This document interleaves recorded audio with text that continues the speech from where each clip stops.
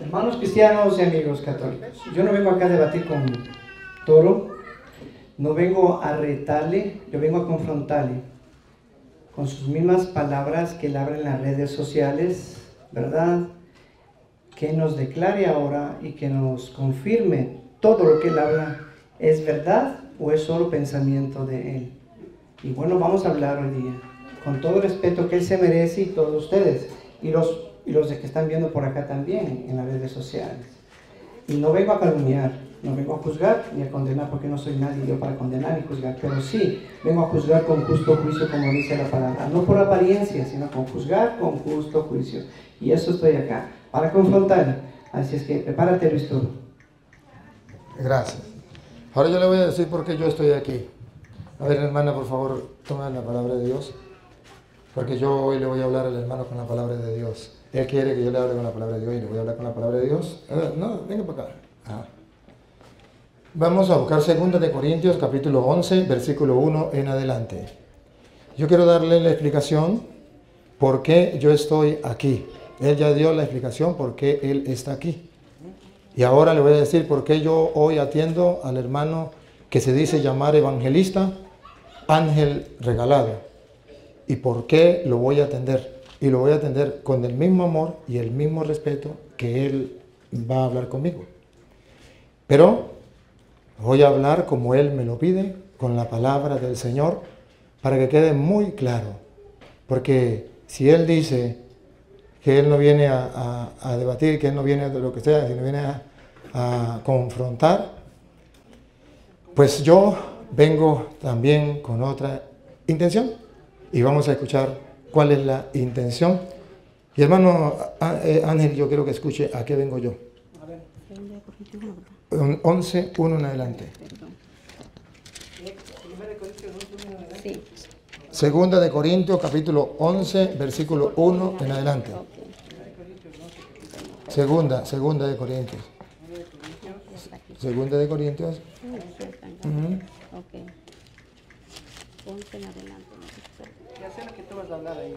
Perfecto. Tranquilo, tranquilo, no se preocupe. Usted ya dijo para qué venía y yo te voy a decir a qué vengo. Ojalá me aguantaran algunas tonterías. Algunos de ustedes piensan que lo que yo estoy haciendo es una tontería. No, ustedes, de los que se siguen a través de las redes, puede ser otra cosa, tranquilo. Yo sé que ustedes no, pero algunas de las personas piensan que yo vengo aquí a una tontería y que lo que digo es tontería y lo que digo por el canal es tontería. Ojalá y ustedes me aguantaran algunas tonterías. Claro que las aguantan. Estoy celoso de ustedes. Por eso estoy aquí.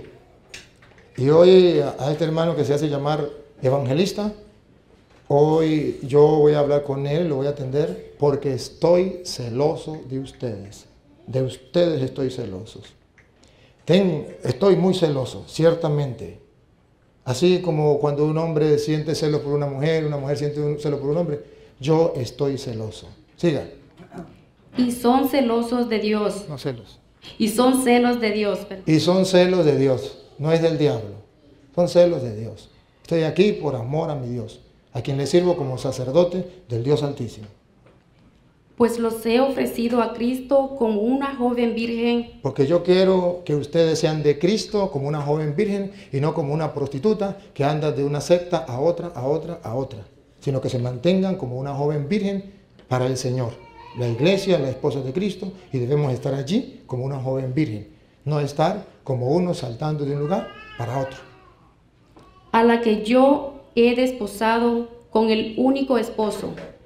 A la que yo he desposado con el único esposo. Al único que le vamos a creer es a Cristo. No le vamos a creer a los hombres, sino a Jesucristo. Y mi temor es que la serpiente que sedujo a Eva... Tengo un temor. Por eso estoy aquí.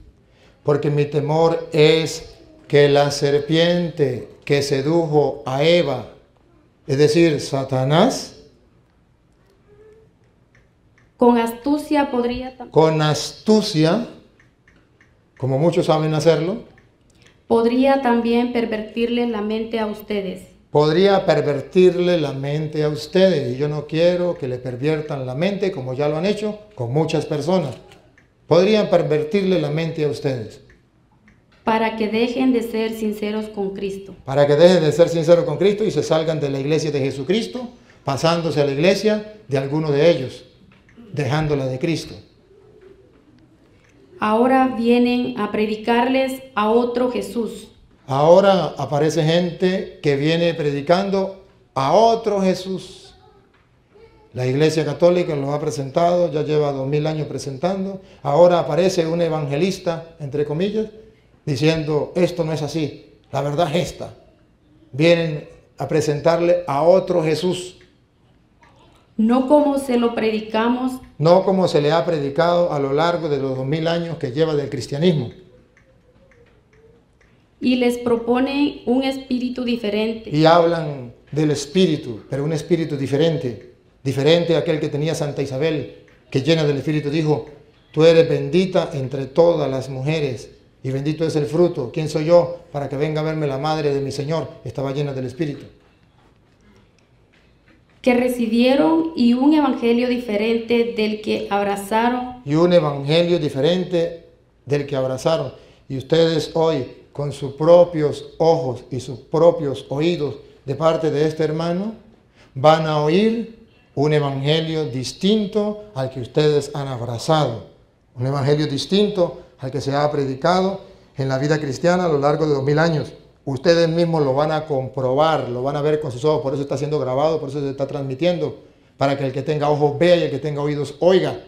Ustedes verán que hay personas, y aquí tenemos un e- evangelista entre comillas, que viene a predicarle otro evangelio, distinto al que han recibido. y los aceptan sin dificultad. Y el problema es que el mundo de hoy los acepta sin dificultad, solamente porque se ponen un título, evangelista, pastor, eh, profeta, apóstol, y ya la gente les cree la mentira. Los aceptan sin dificultad, sin ninguna dificultad.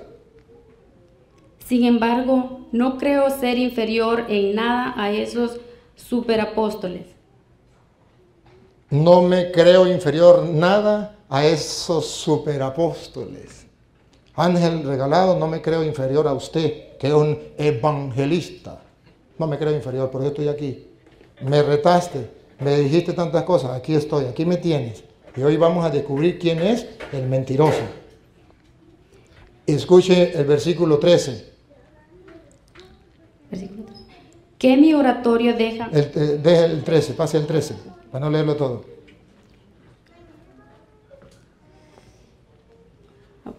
En realidad son falsos apóstoles, Se creen superapóstoles, pero en la realidad, delante de los ojos de Dios, y analizando usted las Sagradas Escrituras, y analizando de dónde viene, quién lo nombró apóstol, desde cuándo su iglesia, quién, quién le, le dio esa autoridad, ustedes verán que dice la Biblia, otra vez, en realidad son falsos apóstoles. esa es la realidad. Y hoy la realidad va a salir a flote, ustedes lo van a ver, que son falsos apóstoles. Escuche lo que viene.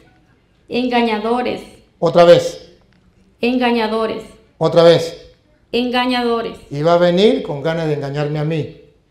Engañadores.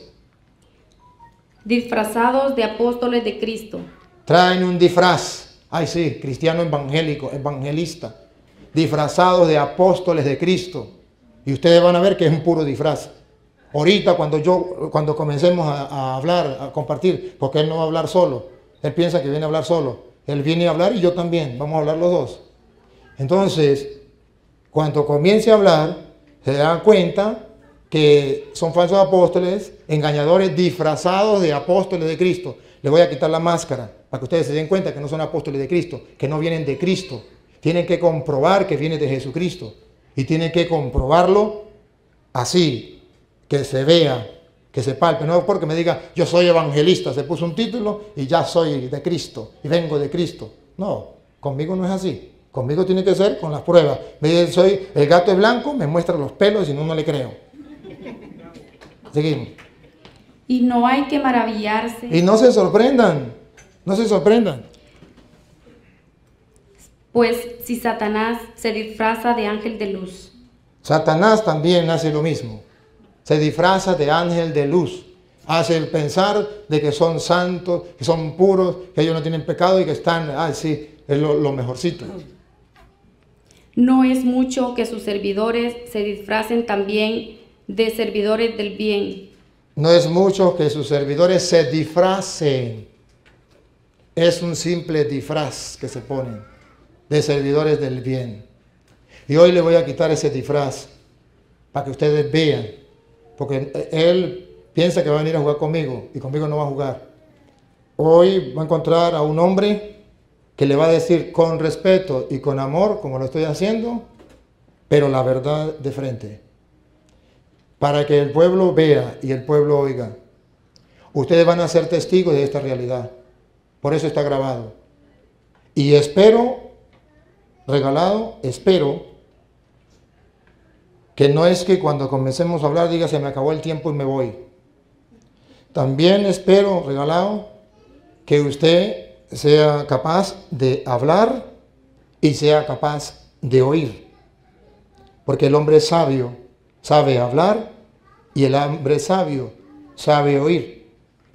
Y yo espero que usted hable y que usted me escuche. Que usted me pregunte, yo le respondo. Y la misma, la misma inquietud que tiene usted de preguntar, yo también tengo inquietud de preguntar. De modo que si usted pregunta, yo respondo. Pero tengo el mismo derecho que usted de preguntar. Y usted tiene el mismo derecho de responder. Porque lo que es igual no es trampa. Usted tiene sus preguntas y yo tengo las mías. Yo tengo mi respuesta y usted tiene las suyas.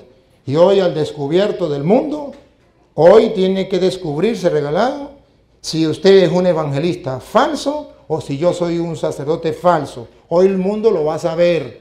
Aquí no se viene que solamente que ah, voy a enfrentar al cura toro y voy a salir por, por las redes, que la gente diga, oh, qué hombre bien bravo. No, no, no, no. Aquí se trata, y escúchenlo bien, aquí se trata de ver quién tiene la verdad. Uno de los dos es mentiroso, él o yo. Y hoy el mundo tiene que descubrir quién es el mentiroso. No porque él diga, el cura toro es un mentiroso. No. Ni porque yo diga, él es un mentiroso. No. Hoy lo vamos a comprobar con la Biblia quién es el mentiroso. Y así nos vamos a entender. Ahora bien, hermano, solo una pregunta antes de comenzar, de darle la palabra. ¿Usted alguna vez fue católico? Nunca. ¿Nació fuera de la iglesia católica? Eh, ¿Fue bautizado dentro de la iglesia católica? ¿Me estás haciendo preguntas o? Sí. Una pregunta. ¿Fue bautizado dentro de la iglesia católica? Bueno, mi papá me bautizó. Ah, listo. Listo, listo. Está bien, está bien. Listo. El papá lo bautizó, fue, fue todo católico, todo católico No me sabe. mentí, mi papá me, bautizó a los tres meses. Bueno, eh, a ver, escuchen. Mira, mira, vamos a hacer una cosa, vamos a hacer una cosa. El único que habla aquí es él y yo. Listo, porque si no nos enredamos. ¿Ya A ver, ya, ya va a acabar. Solamente quería poner presente algo.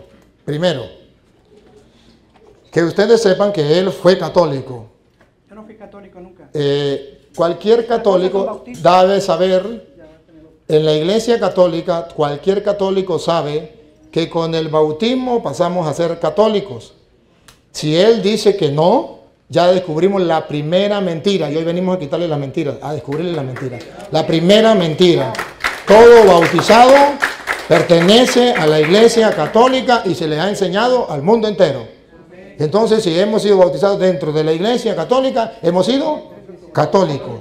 Y todo católico lo sabe. Él viene y dice que no, primera mentira. Y vamos a quitarle las mentiras. Ok. A descubrir las mentiras. Ahora bien, yo quiero que si hay otro hermano, usted trajo otro hermano, Ahí está. hermano, ¿usted no me podría ayudar de ser de árbitro también? Aquí tenemos un árbitro. ¿No, no quiere ser árbitro? Bueno, entonces aquí el árbitro sería usted. Usted simplemente va a ayudarnos aquí una cosa. Que si yo no dejo hablar al hermano, usted me tiene que, aunque yo sea eh, sacerdote y, y usted sea católico, usted tiene que decirme, padre, déjelo hablar a él. Tiene que ser justo. Y si él no me deja hablar a mí, usted tiene que decirle, deja hablar al padre. De modo que él va a tener la oportunidad de preguntar, yo voy a tener la oportunidad de responder y él va a tener la oportunidad de escuchar mi pregunta y responderme a mi pregunta. Él hace una pregunta, yo le respondo. Yo hago una pregunta, él me responde. Pero eso, después de que él nos diga a qué iglesia pertenece. Porque yo no sé con quién estoy hablando. Ni ustedes tampoco. Y necesitamos, ustedes me conocen a mí, soy católico. Él es evangelista. ¿A qué iglesia pertenece? No sabemos. Necesitamos que usted, antes de hacerme la primera pregunta, a usted le diga al mundo entero que usted es evangelista de los que vienen de Cristo, porque usted pertenece a tal iglesia y esa iglesia viene de Jesucristo. Y usted me lo comprueba con la Sagrada Escritura, me lo demuestra, porque, o si no, usted es un evangelista extraterrestre que cayó así, ¡pah! En el año 2000 apareció un extraterrestre, un evangelista, pero que no viene de Cristo. Yo necesito pruebas que usted es un evangelista, que usted viene desde Cristo, que usted, su iglesia, tiene dos mil años, porque si no tiene dos mil años no es la de Cristo. Tiene que tener dos mil años, que usted me compruebe primero eso. Y ahí entramos porque ahí entonces usted, mm, yo lo conozco a usted, conozco su iglesia y sé con quién voy a hablar. Y si no, entonces pienso que estoy hablando con cualquier charlatán por ahí, porque no, sé, no tiene iglesia, no tiene quién la fundó ni cuándo la fundó. Es un cualquier charlatán que agarra la Biblia y comienza a decir, yo vengo por ahí en nombre de Cristo y se pone un título y ya. No, tenemos pruebas. Aquí vamos con pruebas. Y si no, estamos mal. Hoy usted me ha invitado a compartir y le doy la oportunidad. Preséntese primero.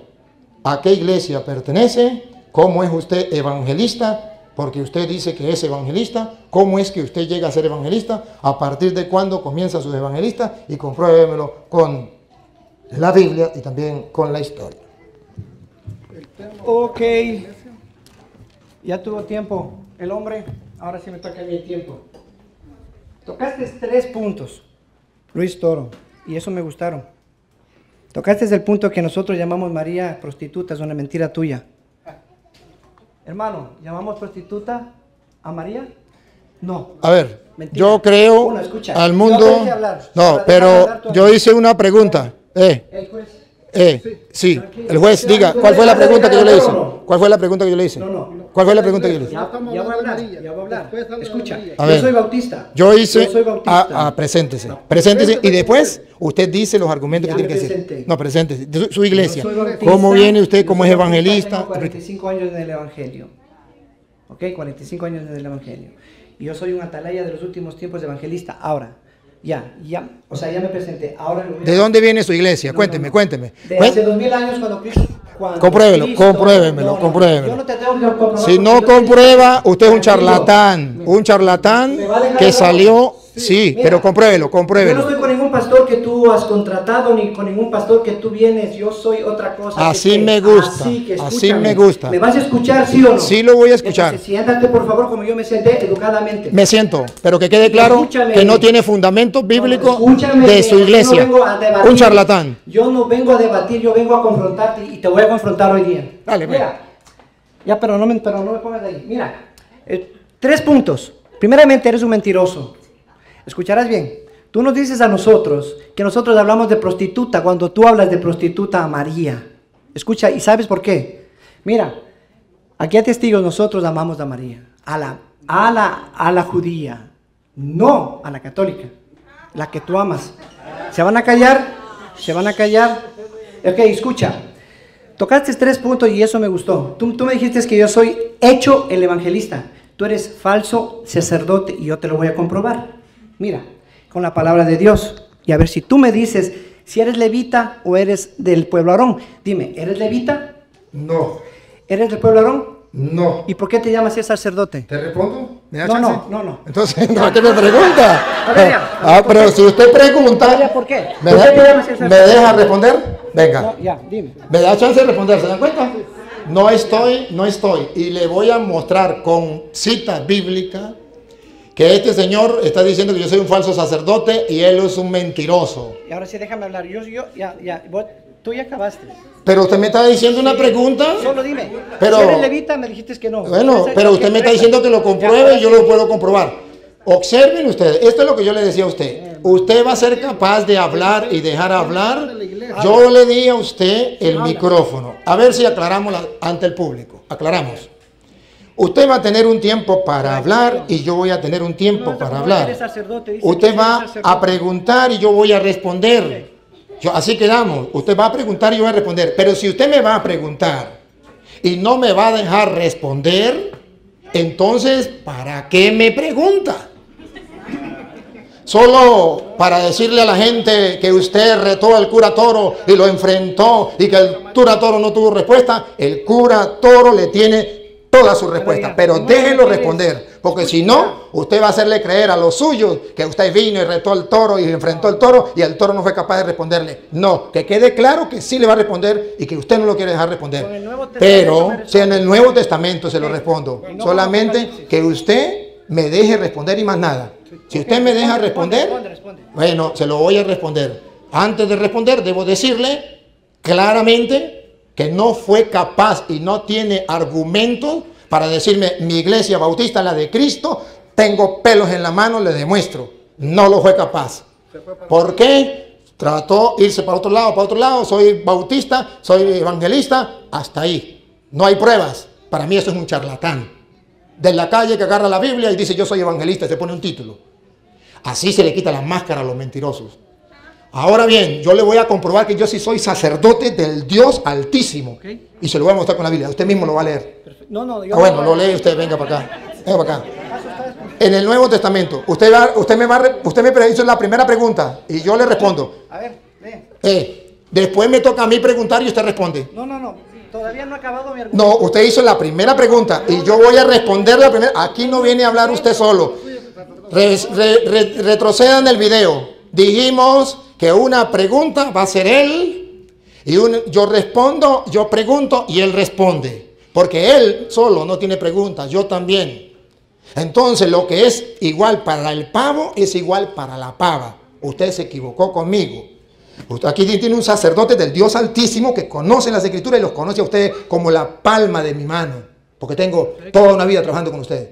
Entonces, aquí usted me hace pregunta, ya me hizo la primera, yo se la voy a responder. Y después viene la pregunta mía y usted me la responde. Y si no me la responde, el pueblo verá quién es el mentiroso. Aquí se trata de descubrir la mentira y al mentiroso. ¿Quién es el falso? Aquí no se trata de otra cosa. O él mentiroso él o mentiroso soy yo. O es falso él, ya no me pudo comprobar que él es de la iglesia de Cristo, que es un verdadero evangelista. Yo sí le voy a comprobar que yo soy sacerdote del Dios Altísimo, como él me pregunta, y en el Nuevo Testamento. Me voy con Hebreos capítulo 7, versículo, eh, mm, vamos a leerlo desde el 11 en adelante.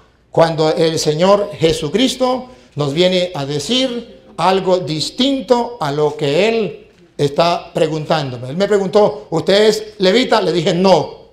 ¿Usted es de Aarón? No. Entonces, ¿cómo usted es sacerdote? Mi explicación bíblica.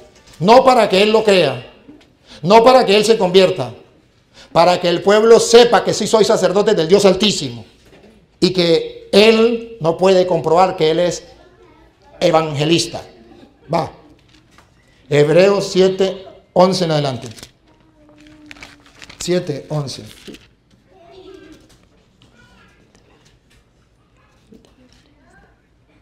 Así pues, el sacerdocio de los levitas, El de los levitas, que él me preguntó, no es el sacerdocio mío.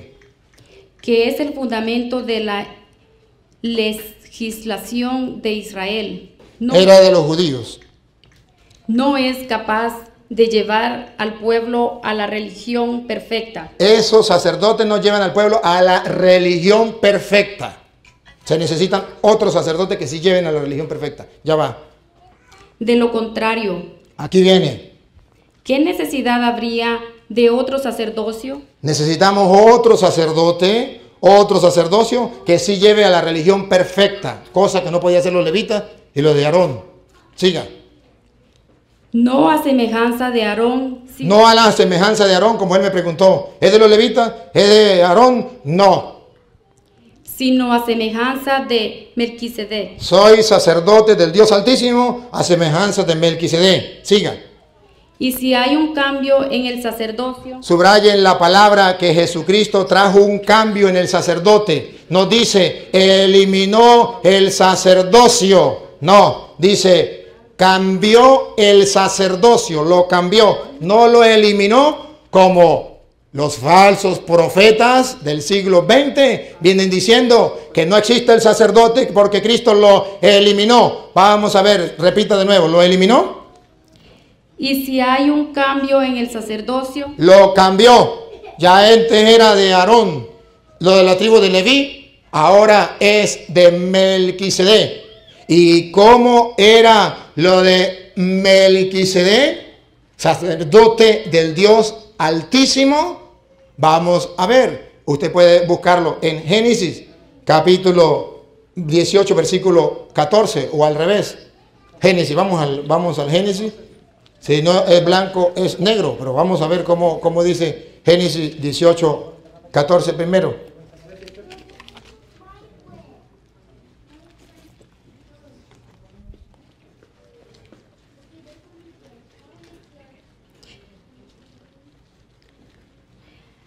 ¿Hay acaso algo imposible para Yahvé? 18, 14. 18, 14, sí, 18. Ahora 14, 18, entonces.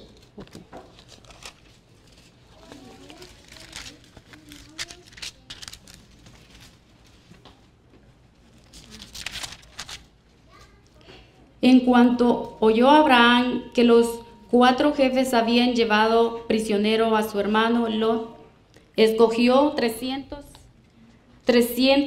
318 de sus hombres que se habían criado en su casa y los persiguió hasta la ciudad de Dan.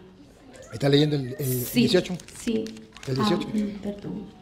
No, 18. Entonces Melquisedec, rey de Salem, Entonces Melquisedec, rey de Salem, trajo pan y vino. trajo pan y vino,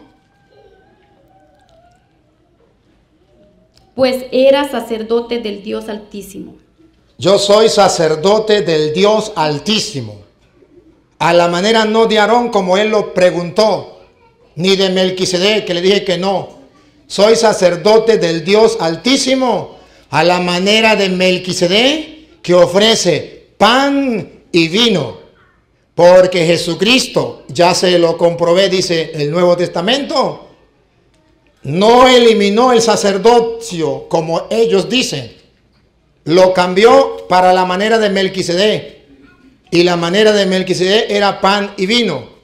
Por eso Jesucristo es sumo, sacer, sumo y eterno sacerdote de la manera de Melquisedec. Porque él en la última cena, San Lucas 22, 19, agarró pan como Melquisedec y agarró vino como Melquisedec, ofreció ese sacrificio a Dios e instituyó los nuevos sacerdotes a la manera del Melquisedec, de la cual orgullosamente y con pruebas en la mano yo le puedo mostrar que soy yo, cosa que él no puede mostrar que es evangelista. Escúchelo. Lucas 22, 19.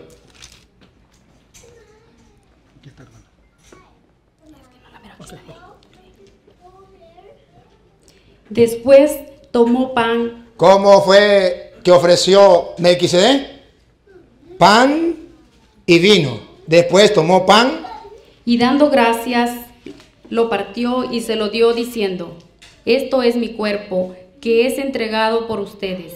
Hagan esto en memoria mía. hagan esto. Aquí hay una institución a través de una orden.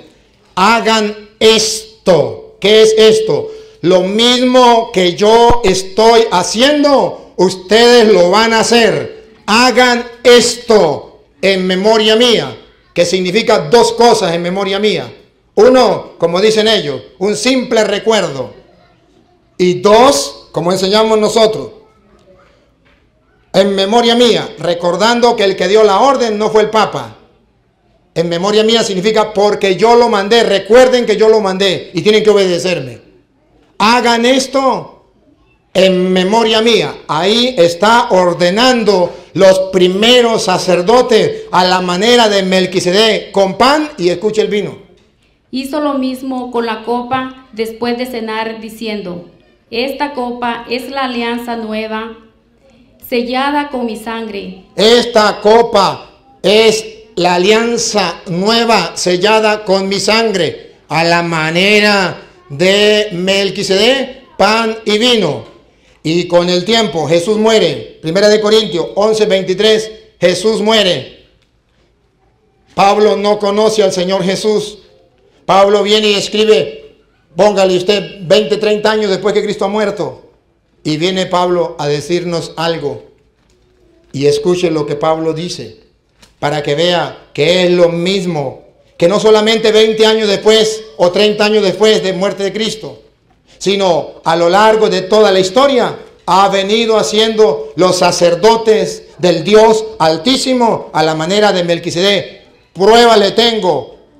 El gato es blanco, le tengo los pelos en la mano. Primera de Corintios, capítulo 11, versículo 23. Ya no estaba Pablo con Cristo. Pablo se convirtió camino a Damasco en Hechos 9.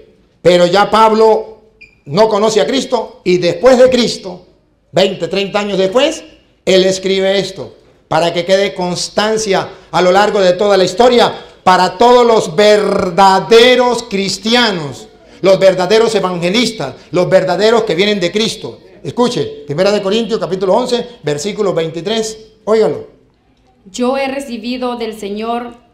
¿Se acuerda que dijo Jesús? Hagan esto en memoria mía. Porque nosotros decimos que memoria no es como dicen los hermanos separados, que es como un simple recuerdo sino más bien como una orden. Porque Pablo dice otra vez, yo he recibido del Señor. Háganlo en memoria mía. Pablo está diciendo, recibid del Señor. Fue una orden de él, a pesar de que él no conoció a Cristo. Pero entonces, ¿qué está diciendo teológicamente la Biblia? Que si lo hace es porque cumple lo que Jesús dijo. Hagan esto en memoria mía. Esa memoria, entonces no es un simple recuerdo, porque Pablo no está haciendo un simple recuerdo. Pablo está diciendo, porque yo recibí del Señor una orden. Hagan esto en memoria mía. Y él mismo lo cuenta. A ver si fue un mero símbolo. Eh, él mismo lo cuenta. A ver si fue simplemente eh, como mero recuerdo. Yo recibí del Señor. Yo he recibido del Señor lo que a mi vez les he transmitido. Ven teológicamente como Pablo quiere que se vaya transmitiendo a lo largo de toda la historia. Él lo recibió y no, él no estaba en el tiempo de Jesús, lo recibió de los apóstoles. Ahora él dice, yo a mi vez los he transmitido en castellano, que eso se tiene que hacer a lo largo de toda la historia cristiana. Pablo lo hace 30 años después que Cristo ha muerto y lo escribe. Y dice, yo se lo he transmitido, porque tiene que seguir haciéndose, como dijo Cristo, hagan esto en memoria mía. Sigue. El Señor Jesús, la noche en que fue entregado, tomó pan. Sacerdote a la manera de Melquisedec, tomó pan. Y después de dar gracias, lo partió diciendo, esto es mi cuerpo. Igual, exactamente igual. Que es entregado por ustedes. Hagan esto en memoria mía. Por eso él dice, yo recibí del Señor, porque él dijo, hágalo en memoria mía.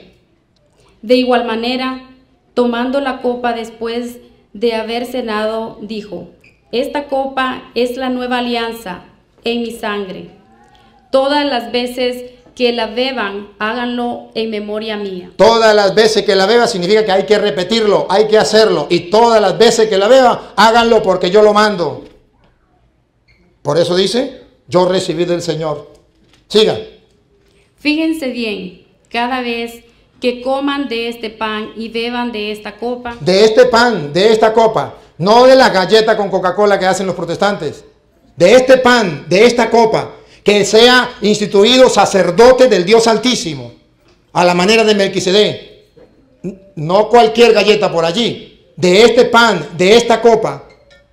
Están proclamando la muerte del Señor hasta que venga. Así se proclama la muerte del Señor, no hasta, hasta el 2018 que viene el evangelista regalado y cambia.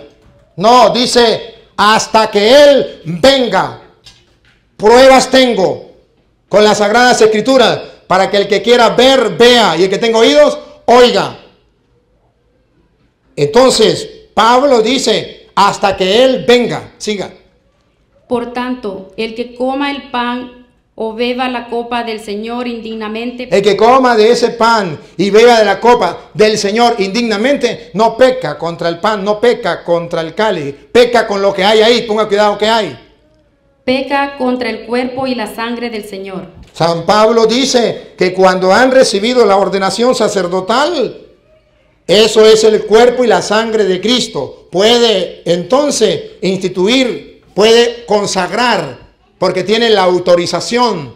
No es cualquier charlatán que viene diciendo hay que hacer esto, no, sino que está efectivamente instituido, autorizado. Tiene lo que se llama ordenación sacerdotal. Recibió una orden, hagan esto. Y esa ordenación se va llevando a través de la sucesión apostólica a lo largo de toda la historia y se ha hecho desde los primeros siglos. Pruebas tenemos. Toda la historia de la iglesia. Ahora viene regalado y descubre América. Que no, que eso era mentira, que eso es falso, que esos sacerdotes son falsos. Pero no me lo puede comprobar con la Biblia.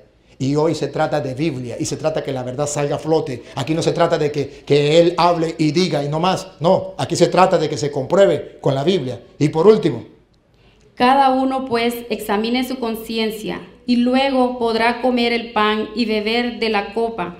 El que come y bebe indignamente, come y bebe su propia condenación por no reconocer el cuerpo. por no reconocer el cuerpo. Cuando hay un sacerdote del Dios Altísimo, la manera de Melquisedec, que hace lo mismo que Jesucristo mandó, ahí está el cuerpo de Cristo y tenemos que reconocerlo. Y el que no lo reconozca, se come su propia condenación. Si no es de esos sacerdotes que Cristo dejó la manera de Melquisedec, entonces están haciendo una obra de teatro, porque me puede decir, nosotros lo hacemos, una vez a la semana comemos galleta con Coca-Cola, una obra de teatro, y es un simple recuerdo. Nosotros no hacemos un simple recuerdo, nosotros celebramos lo que Jesucristo nos dejó. Ahora bien, le he respondido con la Biblia, no para que Él se convierta, no para que Él lo crea, para que quede al descubierto al mundo que sí el sacerdote tiene respuesta y que sí tiene constancia bíblica y que él, regalado, que dice ser evangelista, no tiene pruebas bíblicas de lo que él viene a decir. No pudo comprobar que él es evangelista de Cristo, que él la iglesia de Cristo. No lo pudo comprobar. Me hizo la pregunta, hermano Ángel regalado. Yo respondí, si usted tiene algo que argumentar, lo argumenta. Y luego, al usted argumentar, viene la pregunta mía hacia usted y usted me responde. Y me da chance para yo argumentar como le voy a dar a usted. Bueno, mis amados, aquí estamos, como Luis Toro dice, pues que conociendo la verdad. Y hoy vamos a conocer la verdad. Que este sacerdote es un falso. Es un falso, porque tiene que leer todo. Y ya le voy a leer. Comencemos desde el Éxodo 19. Vamos a ver, vamos a tranquilo. Mira, dice, Moisés subió a Dios y Jehová lo llamó desde el monte, diciendo, así dirás a la casa de Jehová y anunciarás a los hijos de Israel, a los hijos de Israel. Tú dijiste que no eres levita, no eres arónico, tampoco eres judío. Está bien. Entonces, hasta donde yo sé, y tú lo sabes, el único pueblo que tiene sacerdotes hasta ahora son los judíos e israelitas. Y tú tocaste otro punto que vamos a tocar de la sucesión apostólica también y de María. Bueno, aquí vengo a confrontarte. Mira, así dijo de que María le, le tratamos como prostituta, es una mentira que este hombre dice.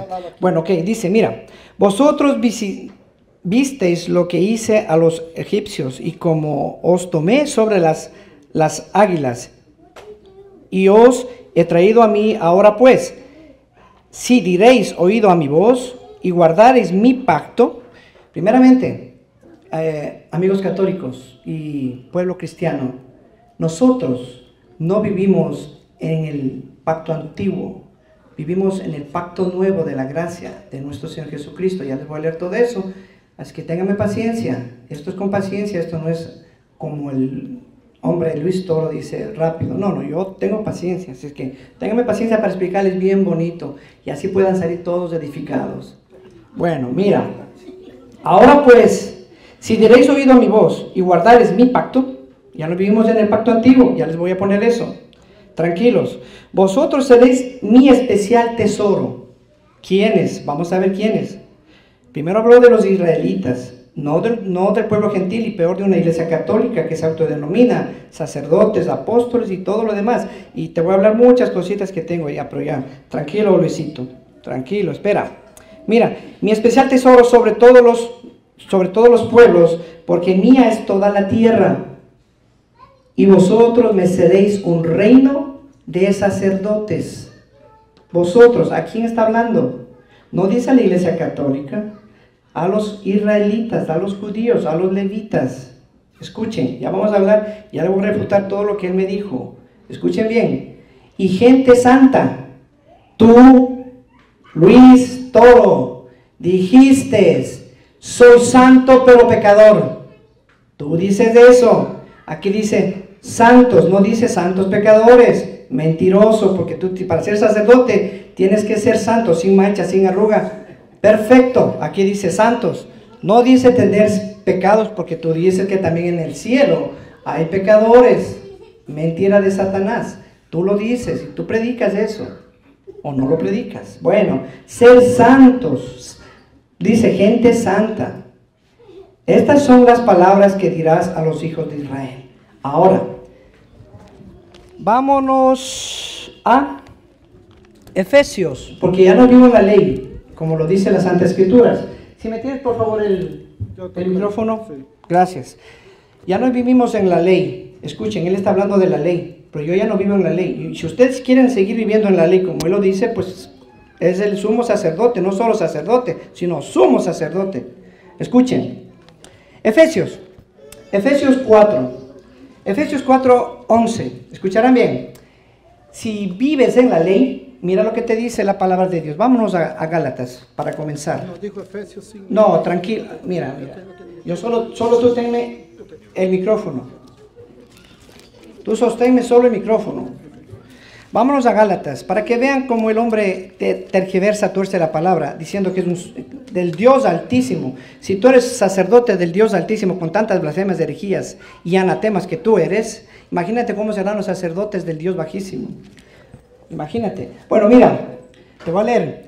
Efesios, eh, Gálatas 3:20. Ya no, ya no vivimos en la ley. Los cristianos, los verdaderos convertidos, los que somos nueva criatura, ya no vivimos en la ley. Porque mira lo que dice sobre la ley. Dice,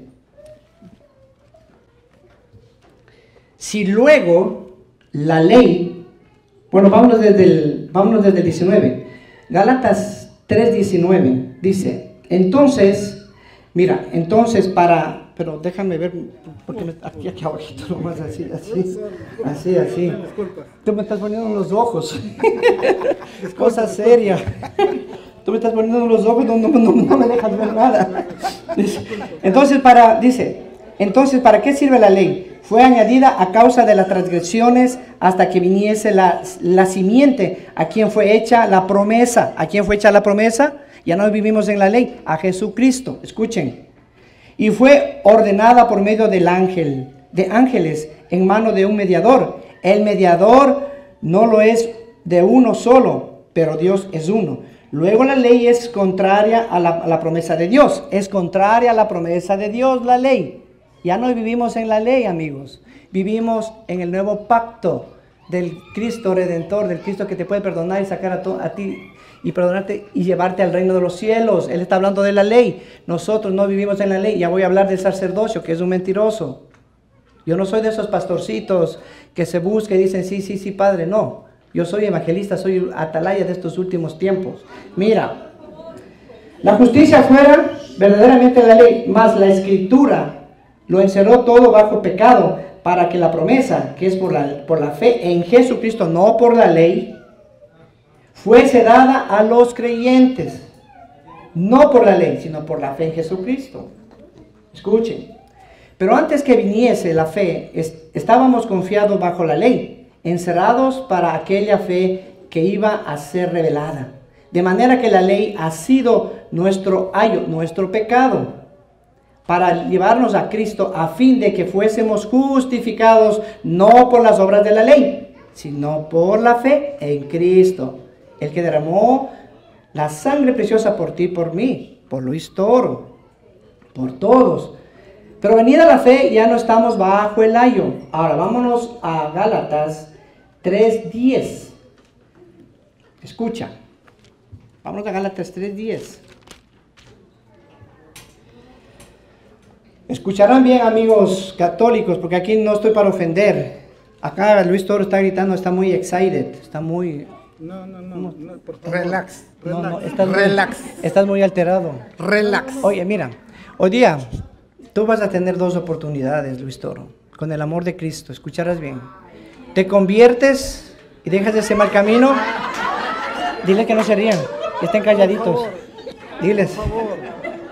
Diles que no se rían. Ahora, escucha, tranquilo y no, y no te me rías que estoy serio. Mira cómo se... Oye, diles que no se rían. Escucha, mira lo que dice. Mira lo que dice Gálatas 3:10. Ya no vivimos por la ley, hermanos, amigos, ya no vivimos por la ley, vivimos por la fe en Cristo Jesús, por, por, por su sangre que fue derramada en aquella cruz, por ti y por mí. Porque vino Dios a abrogar la ley, el, el antiguo pacto. Ya les voy a leer todo eso, tranquilos. Mira, porque todos los que dependen del sacerdocio, de las obras de la ley, están bajo maldición. Y este hombre vive bajo maldición porque se dice ser sacerdote del, del Dios Altísimo y, se- y se, y se- y se dice ser Melquisedec. Ya les voy a leer quién es Melquisedec para que entiendan un poquito ustedes católicos y no se dejen engañar de este, de este falso sacerdote. Porque él me dijo falso también que soy falso, o, o- o no me dijo que soy falso. Entonces yo también le, con autoridad le digo que es un falso sacerdote. Está bien, pero Falso, refalso. dejémosla. No, no, es que, es que él también. Espérate un rato. Venga, acá, ven. Mientras él lo observa. Uy, mira, entonces, vámonos. Déjalo que suene, no se preocupe. Se trabaja el internet. Bueno, escuchen. Entonces, eh, dice, porque todos los que dependen de las obras de la ley están bajo la maldición. O sea, el sacerdocio levítico fue abrogado con la muerte de nuestro Señor Jesucristo. Él rompió el velo para que tú y yo podamos entrar al lugar santísimo, sin necesidad de un sacerdote que te, que te, que te, que, que te perdone tus pecados, ¿verdad? Que te perdone tus pecados. Aunque ¿cómo te va a perdonar un hombre pecador como él? Porque él dice que es pecador y santo. Entonces no puede perdonarte los pecados. Ya te voy a leer esto también. Escucha. Aquel que no per- permaneciere en todo, escucha. Dice, maldito, escucharán bien, anatema, maldito, todo aquel que no permanece en todas, escucharán bien, en todas las cosas escritas en, es- en el libro de la ley. O sea, él vive, él vive como sacerdote. Dice que es del, ¿cómo, cómo, cómo, cómo dijo que es del, ¿cómo es que dijo? Sacerdote del Dios Altísimo. De Melquisedec, oh, de- y de Melquisedec. Ya, ya, ya le voy a leer eso. Ahora sí. Entonces, malditos son todos los que viven en la ley, o sea, en el sacerdocio. Levítico. Escucha, Levítico. Sacerdocio arónico, eso ya se cerró con el nuevo pacto. El único sacerdote, sumo sacerdote es Jesucristo. Y él, no, y él no instituyó sacerdotes en el pueblo cristiano. Ya les voy a leer. Vamos a, vamos a, vamos a Efesios 4:11. Veamos Efesios 4:11. Ya saben, los que viven en la ley están bajo maldición, porque tienes que cumplir todas las leyes, toda la ley. Una, bueno, ya no le voy a hacer preguntas porque después me quita el teléfono. así me gusta, así sí me gusta. Bueno, Sigamos. estamos gozándonos acá, estamos gozándonos, Así es, hermanos. Bien- así es. bienvenidos a todos ustedes, mis amados, que están allá gozándose también. Bueno, Efesios 4, 11. Escucharán bien. Y esto no es chiste, porque escuchen, escuchen. Él me dice falso. Falso, evangelista. ¿Qué más? Diabólico. Cuando él es el diabólico, él es el falso. Y le digo en su cara, es un anatema, porque anda enseñando otro evangelio. Le digo en su cara. Ya lo- ah, ¿quieres que lo compruebe? Ok. Ya, Bueno, vamos. Efesios, Efesios, Efesios 4:11. Escucharán, si ustedes creen en Cristo y no las, no las artimañas de Luis Toro o de algún apologeta, si creen en Cristo, va- pero bueno, me van a... ya, por favor. Si creen en Cristo van a escuchar las cosas que Cristo habla. Escuchen, si Luis Toro, No, allí no dice. ¿o qué Luis dice? Escucha, no, escucha. Bueno, bueno, No, es que. Ok. Efesios, Efesios 4:11. El mismo, ¿quién? Jesucristo, el único sacerdote, el sumo sacerdote que traspasó los cielos. Ya les voy a leer todo eso, tranquilos. Él mismo constituyó a unos apóstoles, a otros profetas. Él mismo, no Luis Toro ni la Iglesia Católica. Ninguna institución pública ni privada puede constituir lo que Dios ya ha constituido. Y nadie quita ni añade a, a este libro. Porque el que quitare o el que añadiere, maldito es ante los ojos de Dios. Escuchen bien. Él mismo constituyó a unos apóstoles, a otros profetas, a otros evangelistas, como este hombre se burla. Tranquilo, búrlate nomás, como yo me estoy burlando de ti, tranquilo. Tranquilito, Luis Torito. Mira. Ok, mira. A unos constituyó evangel... Oye, ya me estás tapando otra vez, oye. Pon ahí. Gócese, gócese y que la misericordia de Dios llene todos sus corazones, mis amados católicos. Bueno, miren, a otros pastores y maestros, a otros sumos sacerdotes, a otros, ¿cómo es que dijo este hombre? Eh, ¿Cómo es que dijo? Este sacerdote del Dios Altísimo también constituyó. Que él me busque una cita biblia, eh, una cita bíblica, que donde Dios constituyó sacerdotes, no lo constituyó. Ya les voy a leer eso para refutarle, tranquilo. Yo estoy leyendo lo que Cristo constituyó, no lo que Él dice, lo que Cristo constituyó. Entonces ya les voy a leer eso, tranquilo, porque Él tiene que leer todo. Él tiene que leer todo. Bueno, unos evangelistas, y se que yo soy evangélico, como dijo, que dijo falso, mentiroso. Pues bueno, Él lo dice, pero la palabra de Dios no lo dice, porque yo le voy a confrontar, que Él es un falso mentiroso. ¿Ok? santos, escucha bien, déjame hablar. A fin de perfeccionar a los santos, a fin de perfeccionar a los santos, no a los santos pecadores como Luis Toro, a los santos.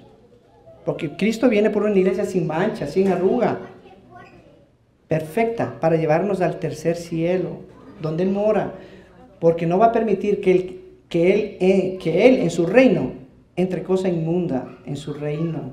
Así es que, amigos católicos, no le sigan acá a este hombre, escúchenlo, detengan lo bueno y desechen lo malo, como dice la palabra de Dios. Yo no le digo que lo voten, que lo quemen, no, no, no, no, no, no, sino que descojan lo bueno y desechen lo malo. Pero si, siempre y cuando ustedes, y me, siempre y cuando ustedes vayan y, y comparen con la palabra de Dios. Entonces, si este hombre está hablando blasfemias, herejías y falacias, y, es un anatema en las redes sociales, tiene que comparar y decirle, bueno, Padre Luis Toro, yo soy católico, y mira lo que tú estás hablando, estás hablando blasfemias ante, ante Cristo, y eso no me gusta. Entonces, no, no, no. Bueno, diles que se callen. Bueno, Por favor, hermano. les- estamos haciendo un estudio aquí bonito. Tranquilo, como él, como él se tomó su tiempo, pues yo también me tomo mi tiempo. tiempo, Tranquilos. Ok, preocupe. sí, ya va a tener tiempo. Entonces, sigamos. El mismo constituyó, ¿verdad? A fin de perfeccionar a los santos nuevos, redas- nuevos redimidos, como dice las Santas Escrituras. He aquí, soy nueva criatura. Las cosas viejas pasaron, todas son nuevas hechas en Cristo Jesús. La pregunta que te hago a ti, amigo católico, ¿tú eres nueva criatura? ¿Tú adoras a los muñequitos de trapo y de cartón? No, ¿Les paseas? Ah, bueno, ya, sí, perdón, estamos en... favor, or- no Sí, perdón. Sí, sí, sí, perdón. Ya. Bueno, entonces, mira, sí, sí. es- calumnia. Ok, bueno, a fin de perfeccionar a los, a los santos para la obra del ministerio, para edificación del cuerpo de Cristo. Escuchen, para edificación del cuerpo de Cristo, no de una iglesia, ni de una institución, ni de una denominación, para el cuerpo de Cristo. ¿Quién es el cuerpo de Cristo? Eres tú y yo. Y te lo voy a comprobar para que no digas que estoy hablando blasfemias. El cuerpo de Cristo no es la iglesia, no es la denominación. Primera de Corintios. Primera de Corintios. Vamos, Primera de Corintios. Y luego voy para refutarles del sacerdocio, ya que él se jacta de ser del Dios Altísimo. Y que, es, de la orden de Melquisedec, bendito sea Dios. Que Dios te perdone tu blasfemia. Ya vamos a ver, tranquilo. Dice, Primera de Corintios. Primera de Corintios 6. Vamos a ver. Primera de Corintios 6. Para que vean que tú y yo somos la iglesia. No es una institución. Ni es la católica, ni la bautista, ni la metodista, ni es la... ¿me pones a veces aquí o de una vez te vas para allá? Bueno, no es la metodista, no es la bautista, no es ninguna religión establecida por ningún hombre aquí en la tierra. No es. Que se Usted, se- pero usted dijo que Es era bautista. otra. Usted dijo que era bautista. Por denominación, más no por... más no- sí, sí, sí. sí, me entiendes. Es para...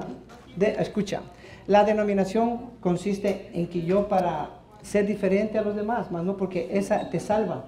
Esa es la que te da la salvación. ¿Sí? No es como tú te llamas Ángel. ¿Por qué te pones Ángel? Para que sepan quién eres tú, más no porque... Pero léala, Bueno, ok.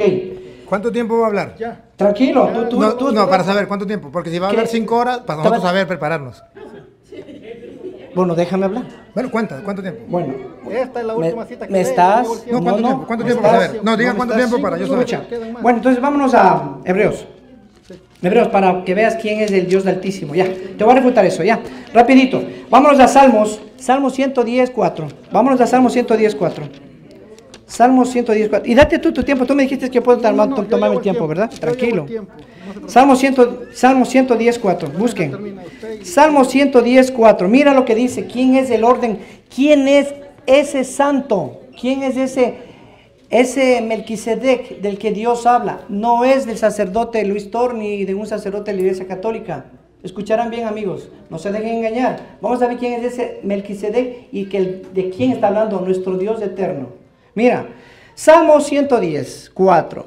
Dice así: Juró Jehová, Yahvé, el gran, el, el- el gran yo soy, el alfa y el omega, el principio y el fin, el gran Shaddai, el gran Adonai, el gran Hashem. Ese, dice así: Juró Jehová y no se arrepentirá. Tú eres sacerdote para siempre. ¿A quién le dice? ¿A, a Luis Toro? No. Escuchen bien, para que no se dejen engañar. Él no es sacerdote, porque ya leímos en Efesios 4, Él constituyó cinco ministerios, no seis. No hay sacerdotes en estos tiempos. Según la ley de Melquisedec, no, hay sacerdotes. Ya abrogó Dios a los levitas y a los arónicos. Mira, juró Jehová y no se arrepentirá, tú eres sacerdote para siempre, según el orden de Melquisedec. Ahora vamos a ver quién es, a quién dio eso. Vamos a ver. No, no, ya se terminó. No, no, tranquilo, déjame hablar. No, déjame hablar. O escucha, vamos a ver a quién. Sí, Dice, él. porque este, al 5, vamos al 5, ¿quién es? Porque todos, escucha, todo sumo sacerdote tomado de entre los hombres, no, no, Hebreos 5, Hebreos 5, 1, tomado entre los hombres es, es constituido a favor de los hombres, a favor de los hombres, en lo que Dios se refiere, para que presente ofrenda y sacrificio por todos los pecados, para que se muestre paciente con los ignorantes, paciente con todos los ignorantes, y extraviados, puesto que él también está rodeado de debilidad. Y por causa de ella debe ofrecer por los pecados, tanto por sí mismo como también por el pueblo. Pero aquí está hablando de la ley. Tranquilas, tranquilos, tranquilos. Aquí está hablando de la ley. Dice, oye, déjame, déjame en paz, hermano. Tú estás solo aquí, me estás sosteniendo, tú no te metas, hermano. Yo estoy hablando aquí con Luis el Tranquilo, hermano. Y nadie toma para sí esta honra Yo llevo el tiempo. sino el que llama, sino el que le llamó por Dios, como el, como el que fue de Aarón. Así tampoco Cristo se glorificó, pero este hombre se está glorificando. Se está diciendo que es el del Dios altísimo. Ni Cristo se glorificó, aquí dice la palabra. Y él se dice ser sumo sacerdote del Dios altísimo, sacerdote del Dios altísimo. Escuchen. Así tampoco Cristo se glorificó. Así mismo haciéndose sumo sacerdote. Sumo sacerdote sino que el que le dijo, tú eres mi hijo, tú eres mi hijo. ¿A quién le dijo? Según el orden de Melquisedec, a Jesucristo, no a, no a Luis Toro. Tú eres hijo, yo te he engendrado hoy, como también dice en otro lugar, tú eres sacerdote para siempre, según el orden de Melquisedec. Y Cristo en los días de su carne ofreció ruegos y súplicas con gran clamor y lágrimas al que le podía librar de la muerte fue oído a causa de su temor. Y aunque era hijo, ¿quién? Jesucristo del Dios Altísimo no le libró de la muerte, sino que fue a la muerte. Por lo que, por lo que padeció y, y aprendió la obediencia. Mira, aquí hay una bonita. Si este hombre se dice ser el sacerdote del Dios Altísimo, Cristo no se, Cristo nunca se declaró ni rey, ni rey de reyes, y nunca se declaró sumo sacerdote, sino que fue quien le declaró a él, fue Dios. Espera, espérate tranquilo. Aunque hijo por lo padeció, aprendió la obediencia y habiendo sido perfeccionado, vino a ser autor de eterna salvación para todos los que le obedecen. Pero él no obedece, él es un rebelde. Y fue declarado por Dios sumo sacerdote según el orden de Melquisedec. Y este hombre está usurpando el sacerdocio de Cristo Jesús, aunque él dice que, bueno, ya, esa fue mi respuesta. 35 minutos. ¿Cuánto? 35 minutos. 35 minutos. 38, igual. Bueno, yo no me vaya, ustedes. Vaya. Vaya, mientras usted va, yo hablo aquí con la gente y usted regresa y yo le respondo. Bien, hermanos, simplemente yo quería que quedara grabado para que ustedes vieran cómo son aquellos que se autonombran evangelistas. Hablan y hablan puras mentiras, pero hacen como cantinflas, corren para acá, ahora para allá, ¿verdad? Pero no van al grano que es el que nace. Y esto es lo que ellos están acostumbrados a hacer. Fíjense usted cómo dice, está en, las Sagradas Escrituras. En Primera de Timoteo, capítulo 1, versículo 6, dice, venga, cuidado, venga para acá, venga para acá. Ustedes van a escuchar cómo dice Primera de Timoteo, capítulo 1, versículo 6, sobre esas personas. Escuche. Por haberse apartado de esta línea, algunos se han entregado a la palabrerías, Lo vieron. Se entrega a la palabrería cuando el pueblo está esperando una respuesta concreta. inútiles, Inútiles, no dice nada, como cantifla. pretenden ser maestros de la ley, Repítalo. pretenden ser maestros de la ley. Se cree ser maestro de la ley y viene a refutarle al cura y viene a formar. Eh, pretende ser maestro de la ley. Yo sí voy, yo sí conozco de Biblia, yo sí le voy a. Y a las pruebas me remito. Vean ustedes cuando yo expuse a cuando él expuso. A la prueba me remito. Pretenden ser maestros de la ley Cuando en realidad Cuando la realidad, y ustedes la están viendo y está saliendo a la luz pública para que el que tenga ojos vea y el que tenga oídos oiga, cuando la realidad, no entienden lo que dicen, ¿qué? no entienden lo que dicen. Este señor ni siquiera él mismo entendió lo que dijo. ¿No entienden ni lo que dicen? ni lo que hablan con tanta seguridad. Ni lo que habla con tanta seguridad. Yo en ningún momento hablé de la ley y él habló todo el tiempo de la ley. Habló, fue, dio vueltas por allá con la ley y yo en ningún momento toqué la ley. Él habló del Antiguo Testamento, que era un pacto y que ya quedó allá anulado y que entonces el sacerdocio ya quedó anulado, en la antigua alianza, porque el de yo le mostré donde Jesucristo, yo se lo comprobé y se lo vuelvo a repetir, no lo voy a leer, pero ustedes ya lo saben, Lucas 22, 19, tomó pan, dijo, esto es mi cuerpo, agarró el cáliz y dijo, esta es mi sangre, sangre del nuevo pacto, de la nueva alianza. Y él todavía se queda mirando la antigua alianza. Y no sabe que en el Nuevo Testamento hay sacerdotes de la nueva alianza. Lo que pasa es que, y lo invito a estudiar que es sacerdote en la Biblia, y le voy a mostrar que sacerdote en la Biblia tiene una función específica. Usted lo leyó y esta misma cita se la voy a dar, Hebreos capítulo 5, versículo 1 en adelante. Para que usted sepa qué es ser sacerdote, porque usted dice, Cristo no instituyó ningún sacerdocio. Instituyó fue profeta, apóstol y evangelista. Y aquí estoy yo como evangelista. Lo que que no me dice de dónde viene él, si era evangelista desde Cristo, a ver cómo, es- cómo es que viene desde Cristo, cuál es la sucesión apostólica que trae, a qué congregación pertenecía, de todo el tiempo, no lo muestra. Porque solamente agarra el título, encuentra en la Biblia donde dice evangelista, se pone una chaqueta y dice evangelista. Y ya todo el mundo tiene que creerle. No, así no es. Entonces, ustedes van a ver lo que él no sabe, pero que hoy un sacerdote del Dios Altísimo se lo va a mostrar con capítulos y versículos. Escuche, Hebreos 5.1. ¿Qué es sacerdote? Todo sumo sacerdote es tomado de entre los hombres y los representa en las cosas de Dios. Primero, aquel que representa al pueblo en las cosas de Dios. Cuando Jesucristo mandó a los apóstoles y nombró a unos profetas, a otros apóstoles, a otros maestros y a otros evangelistas, los mandó a representarlos delante de Dios. Son esto que Dios escogió al punto que Jesucristo dice en Lucas 10, 16, a quien ustedes escucha, a mí me escucha. Quien a ustedes rechaza, a mí me rechaza. Esos apóstoles van a representar. ¿Qué es el sacerdote? El que los representa. Y representa a Cristo ante el pueblo y al pueblo ante Cristo. ¿Qué dice 2 de Corintios capítulo 5, versículo 20? Somos embajadores de Cristo y por nuestra boca es Dios mismo quien les habla. ¿Qué es un sacerdote? No según el evangelista regalado.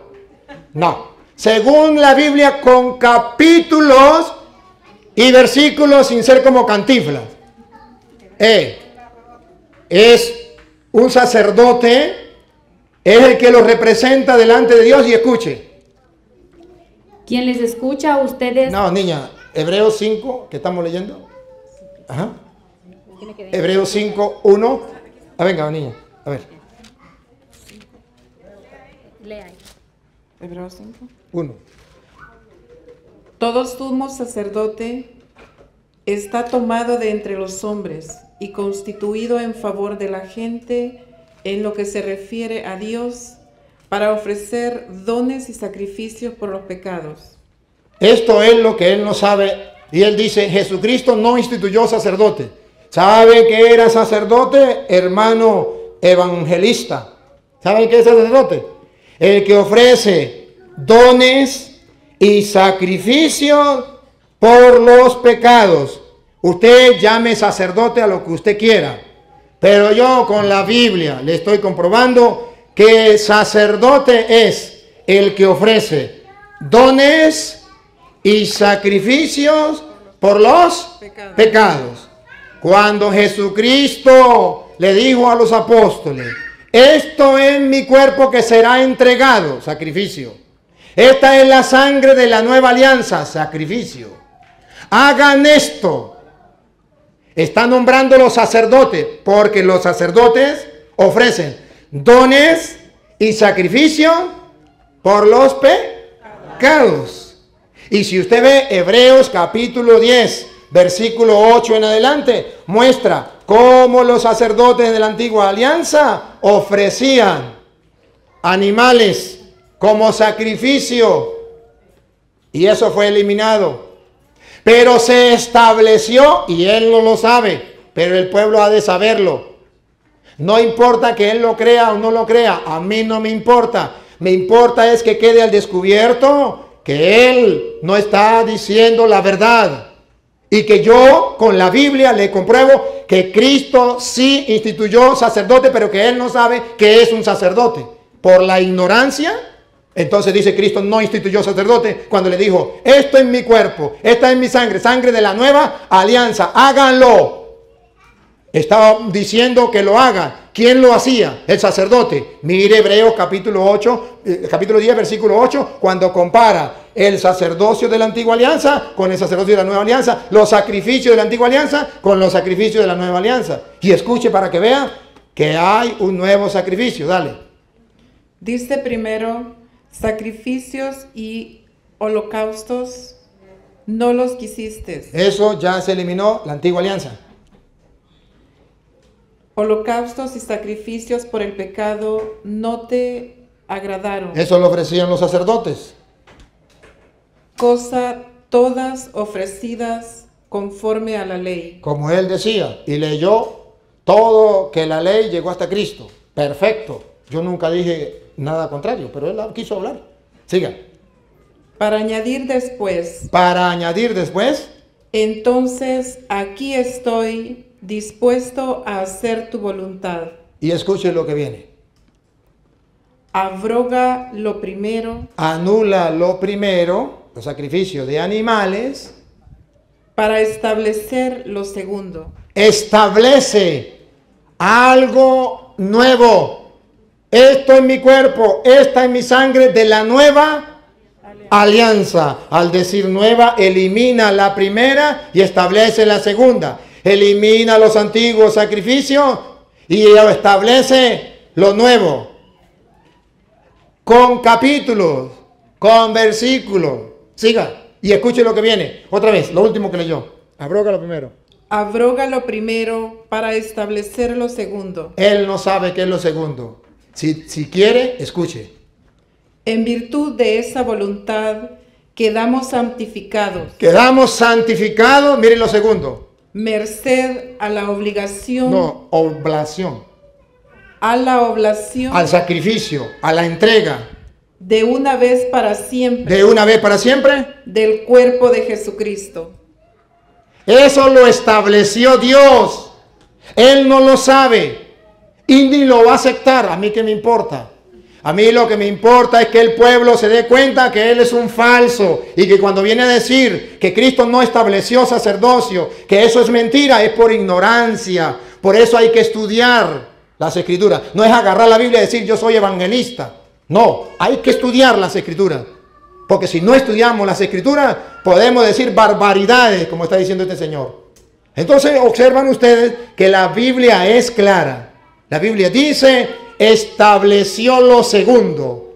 Lo segundo es que seamos santificados por la oblación del cuerpo de Cristo. Por eso Jesús dijo, esto es mi cuerpo, esta es mi sangre. Hagan esto. Los nombra sacerdote que ofrecen el nuevo sacrificio y eh, así va a santificar al pueblo. Va a santificar el pueblo. Eh, eh, solamente el desconocimiento, el no saber qué es ser sacerdote. Ahora, volvemos otra vez a Hebreos capítulo 5, versículo 1, porque él se contradijo muy feo. Dijo que los sacerdotes, según la Biblia, tenían que ser santos. Y ustedes lo escucharon, si quieren retrocedan el video, para que se den cuenta quién es el mentiroso. Él o yo. A las pruebas me remito. Ve, Hebreos 5, 1. Si yo no estoy dando capítulos y versículos y si no le demuestro las mentiras descaradas que él tiene, ustedes pueden decir, el cura es un mentiroso. Pero hoy se equivocó regalado. Vamos a escuchar para que vean. Todo sumo sacerdote es tomado de entre los hombres Todo sumo sacerdote es tomado de entre los hombres y los representa en las cosas de Dios. y lo representa en las cosas de Dios. Mire cómo le tumba la mentira a los evangelistas que agarran la Biblia y se autonombran. Por eso ofrece dones y sacrificios por el pecado. Es capaz de comprender a los ignorantes y a los extraviados, Listo, con la cámara para que vea cómo se le tumba la mentira a los mentirosos. pues también lleva el peso de su propia debilidad. Pácata. Le estoy mostrando con capítulos y versículos que según las sagradas escrituras, el sacerdote es un pecador. Sigue. pues también lleva el peso de su propia debilidad. Por esta razón debe ofrecer sacrificios por sus propios pecados, Por su propio pecado, como él dice que no tiene pecado. Por sus propios pecados. ¿Quién es el mentiroso? Capítulos y versículos. Para que salga a la luz la verdad y la mentira dura hasta que llega la verdad.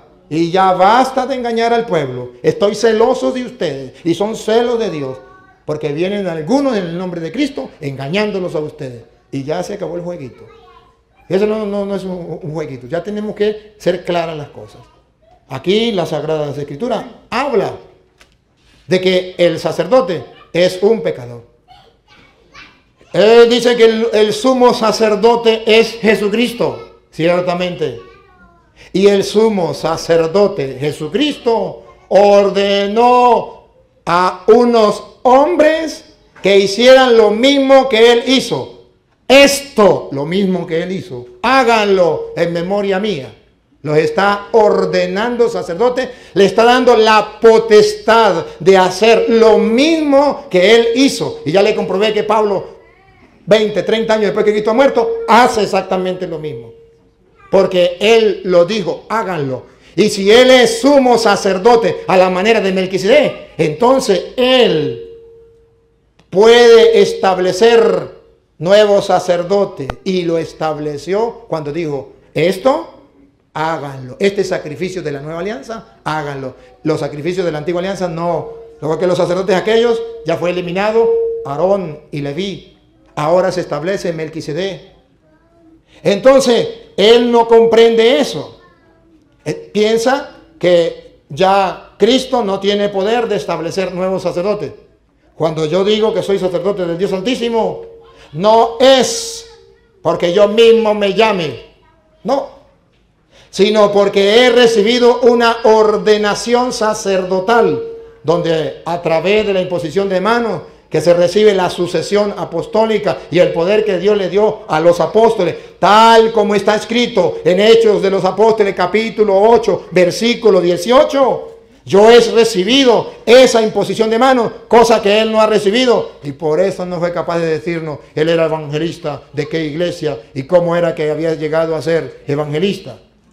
A ver, a través de la imposición de las manos se transmitía esa autoridad, ese poder que ha recibido de los apóstoles. Escúchenlo. Y por eso oh, Hechos 8, 18. Por eso dentro de la iglesia católica está lo que se llama la sucesión apostólica, donde se le da ese poder. Capítulos y versículos.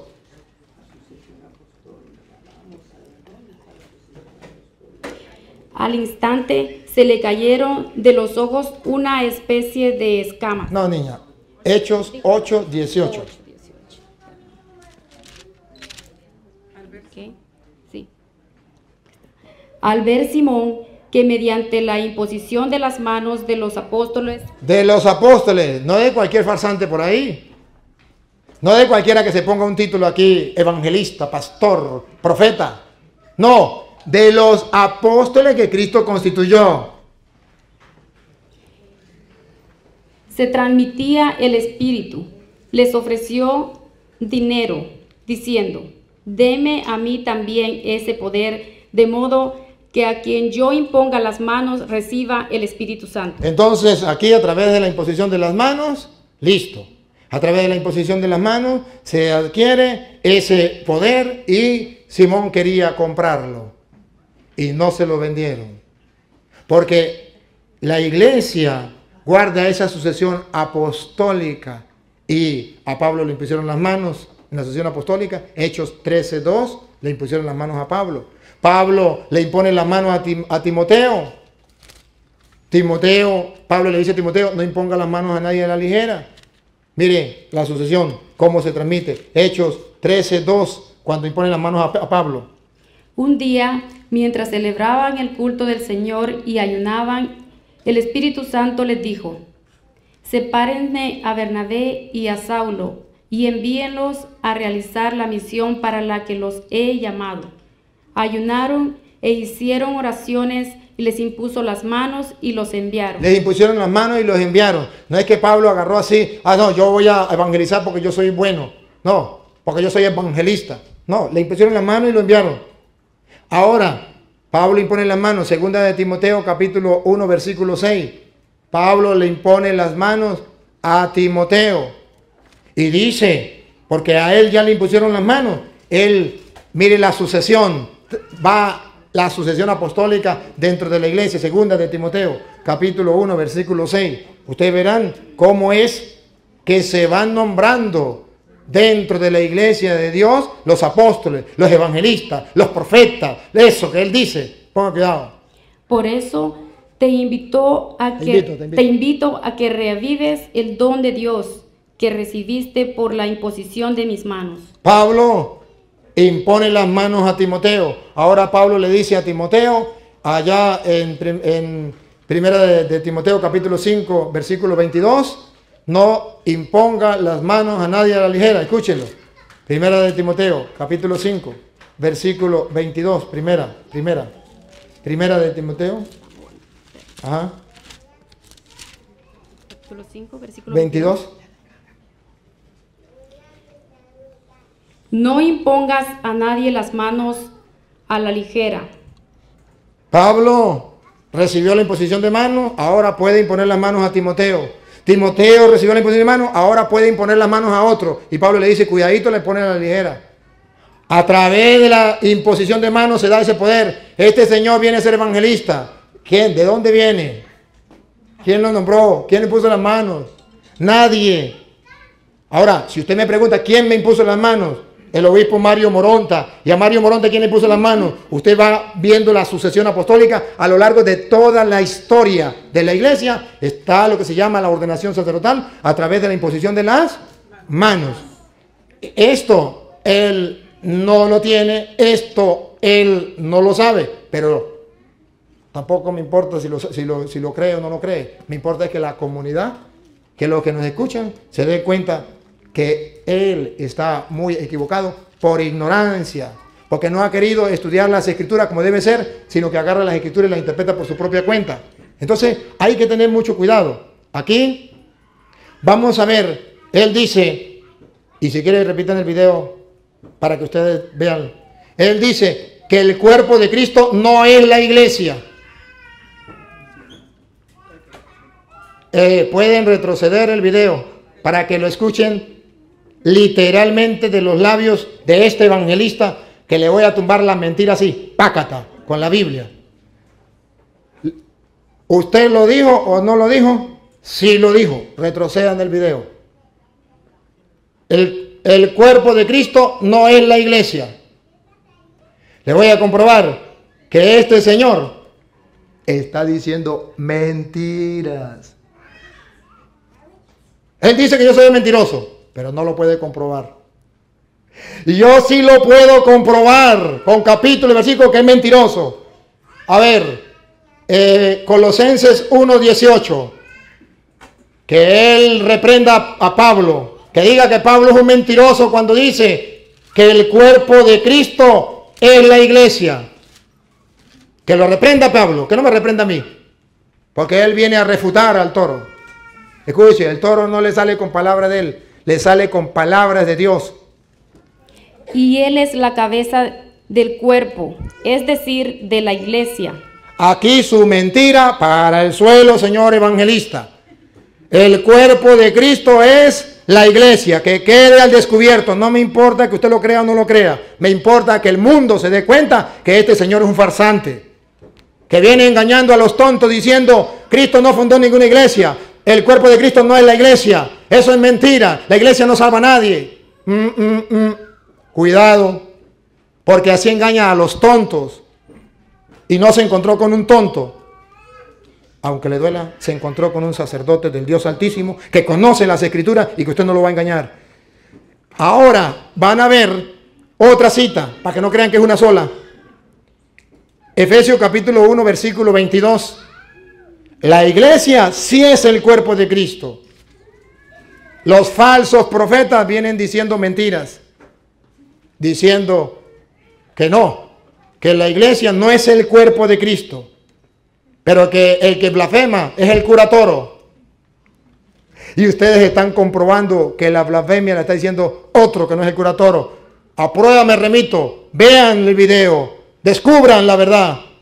Aquí está al descubierto, abiertamente para el mundo. Y alabado sea Dios que tenemos las redes sociales. Escuche. Dios colocó todo bajo sus pies y lo constituyó cabeza de la iglesia. Ella es su cuerpo. La iglesia es el cuerpo de Cristo y lo constituyó Dios, porque Dios sí tiene iglesia. Él dice que no. La Biblia dice que sí. Cabeza de la iglesia y escuche, escuche lo que viene. ¿Qué es la iglesia?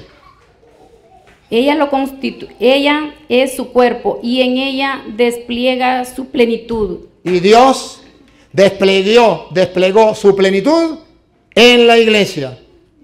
Porque Él dice que no existe iglesia, que la iglesia no es el cuerpo de Cristo, que Dios no fundó ninguna iglesia, que son nominaciones, y que Él dijo que era bautista, pero no quería decir que pertenecía a una iglesia, sino era una nominación.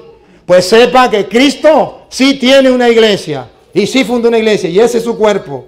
Y no solamente eso, Efesios 3, 20, 21 dice que nadie puede darle la gloria a Dios si no es en la iglesia. Entonces, ¿cómo se explica? Vamos a escucharlo. ¿Cómo un evangelista va a darle la gloria a Dios y no, y no en la iglesia. Mire la, mire la cámara, por favor.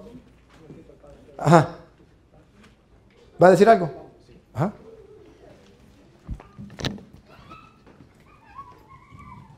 Buenas tardes a todos, vamos a hacer una pequeña pausa.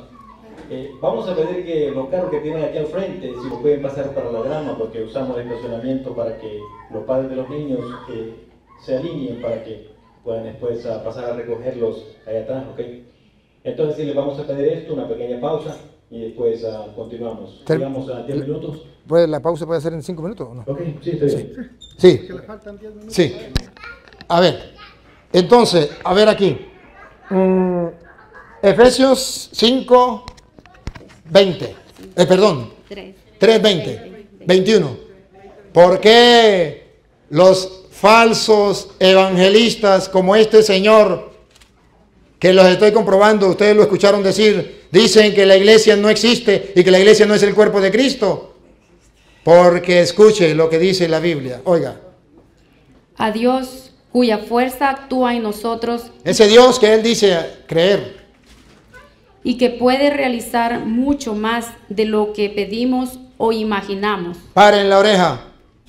A Él la gloria en la iglesia ¿Por qué Satanás quiere que se quite la iglesia? Que la gente diga, no hay iglesia, la iglesia no salva, la iglesia no es importante. Porque está escrito, a Dios se le da la gloria en la iglesia. Y cuando Él dice, la iglesia no salva a nadie, la iglesia no es importante, eh, la iglesia no es el cuerpo de Cristo, es porque está trabajando sin darse cuenta para el que te conté y está engañando. Porque el diablo, según dice Juan 8:44, es padre de toda mentira. De esa mentira también es padre Satanás. A ver, a Dios la gloria. Ahí donde está. A él la gloria en la iglesia. A Él la gloria en la iglesia y en Cristo Jesús por todas las generaciones y todos los tiempos. Amén. Amén. A Dios la gloria nos dice hasta que venga el evangelista regalado. A Dios se le da la gloria en la iglesia y cuando venga evangelista regalado ya no habrá más iglesia. Porque la iglesia será Él. A otro con ese cuento. A mí no me cortan con un cuchillo de cartón regalado. A mí me dicen las cosas así y tiene que asegurarse que está en la Biblia porque yo tengo conocimiento de las Sagradas Escrituras.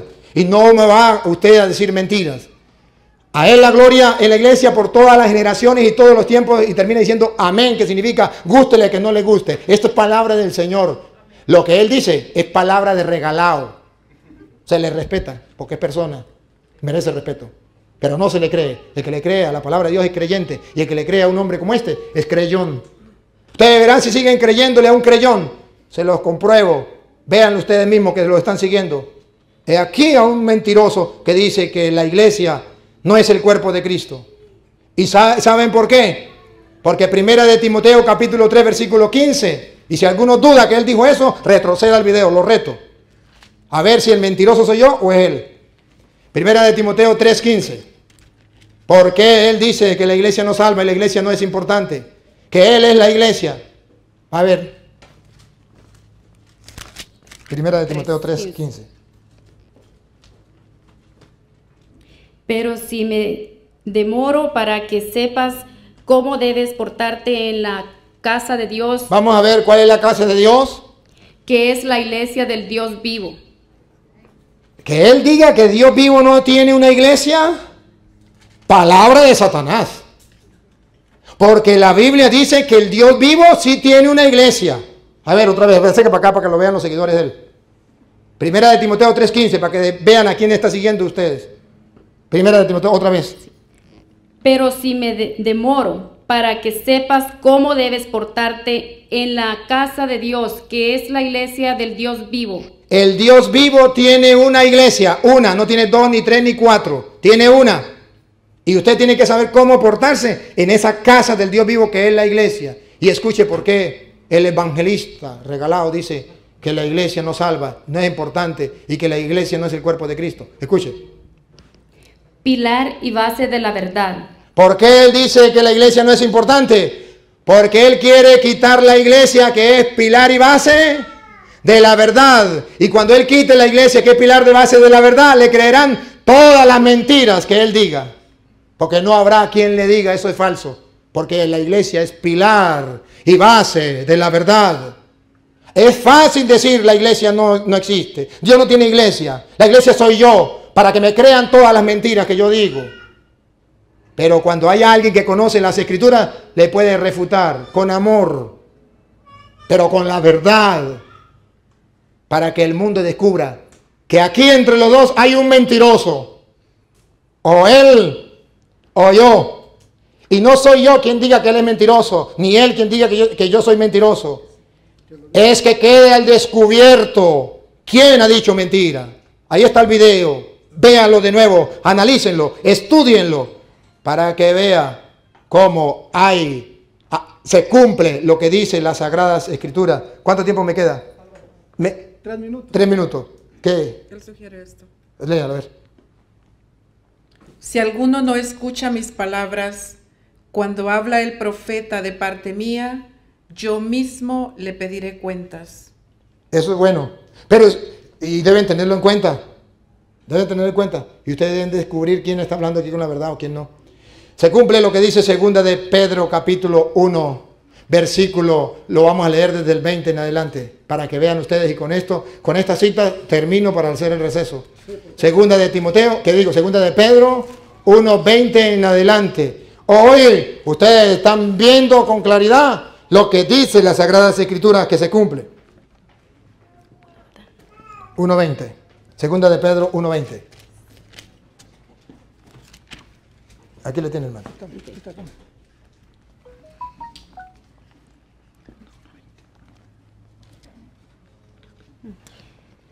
Sépanlo bien, Otra vez. sépanlo bien. Para ustedes, seguidores del supuesto evangelista. Sépanlo bien, ninguna profecía de la escritura puede ser interpretada por cuenta propia, Como lo hace este evangelista. pues ninguna profecía ha venido por iniciativa humana, sino que los hombres sino que los hombres de Dios han hablado movidos por el Espíritu Santo. Nadie puede interpretar las escrituras por su propia cuenta. ¿Qué pasa cuando se interpretan las escrituras por su propia cuenta? Pongan cuidado. ¿Qué salen? ¿Qué brota? A ver, Así como hubo falsos profetas en el pueblo de Israel, Cuando se interpretan las escrituras por su propia cuenta, ¿qué brotan? Falsos profetas. Otra vez. Así como hubo falsos profetas en el pueblo de Israel, también entre ustedes habrán falsos maestros, introducirán novedades dañinas, pero sin tardar se perderán. Sin tardar se perderán. No crea que es un juego. No crea que él está, ay, sí, jugando y a lo mejor conquistando gente. ¿Para qué? Se perderán. por renegar del maestro que los rescató. Muchos imitarán sus vicios y por su culpa será des- desprestigiado Por su culpa será desprestigiada. el camino de la verdad. La iglesia es columna y base de la Y por culpa de ellos, la iglesia que es columna y base de la verdad será desprestigiada. Los inspirará el amor al dinero Lo hacen por el diezmo y se aprovecharán de ustedes con palabras engañosas. y se aprovecharán de ustedes con palabras engañosas, como quiere venir a hacerlo conmigo. Y ustedes verán entonces en el versículo 16. ¿Ya? ¿Se acabó? Bueno, Dale un minuto si quiere. el 16 nomás. 3.16. 3.16. Yo se lo repongo a él después. E insiste sobre esto en todas sus cartas. Hay en ellas algunos puntos difíciles de entender, que los ignorantes Ignorantes y poco firme en la fe y poco firmes en la fe. interpretan torcidamente para su propio daño, Eso es lo que usted hace regalado. como hacen también con las demás escrituras. Así pues, queridos, estando ya advertidos, Están advertidos, un sacerdote del Dios Altísimo se lo ha advertido. Tengan cuidado Tengan cuidado. para que esa gente Esos evangelistas para que esa gente extraviada no arrastre a los que estaban firmes y los hagan caer. Y los hagan caer. Ustedes que piensan que van por buen camino, pilas, porque lo están haciendo caer. Bueno, vamos a comerciales. Mira, la- vamos a tratar de explicarlo. Co- Comenzamos con una pregunta que usted me hizo. Yo todavía no le he preguntado a usted. En esta parte le voy a preguntar yo a usted. Usted va a tener 15 minutos para responder. Sí, 15. 15 minutos para responder. Luego yo voy a tener 15 minutos, que sería media hora. Y después 15 y 15. Ya está bien. ¿Sí? Entonces, este, yo quiero, esta, esta segunda parte, sí, vamos nomás. Esta segunda parte será la pregunta que yo le voy a hacer y yo quiero que usted pues me la responda. Mm, Aquí estamos hablando de, de lo que es la iglesia y lo que es este quién es falso, que el falso soy yo, que él es- que el falso es él y, y entonces la gente saca conclusiones, así de sencillo. ¿no? Aquí no se trata de más nada, sino que se salga a flote la verdad. Yo tengo una pregunta para usted. ¿Por qué usted, ya, ¿ah? ¿por qué usted, no siendo católico, por qué usted carga la Biblia que hizo la Iglesia Católica en el año 382 con el Papa San Damaso I, que hizo la Biblia?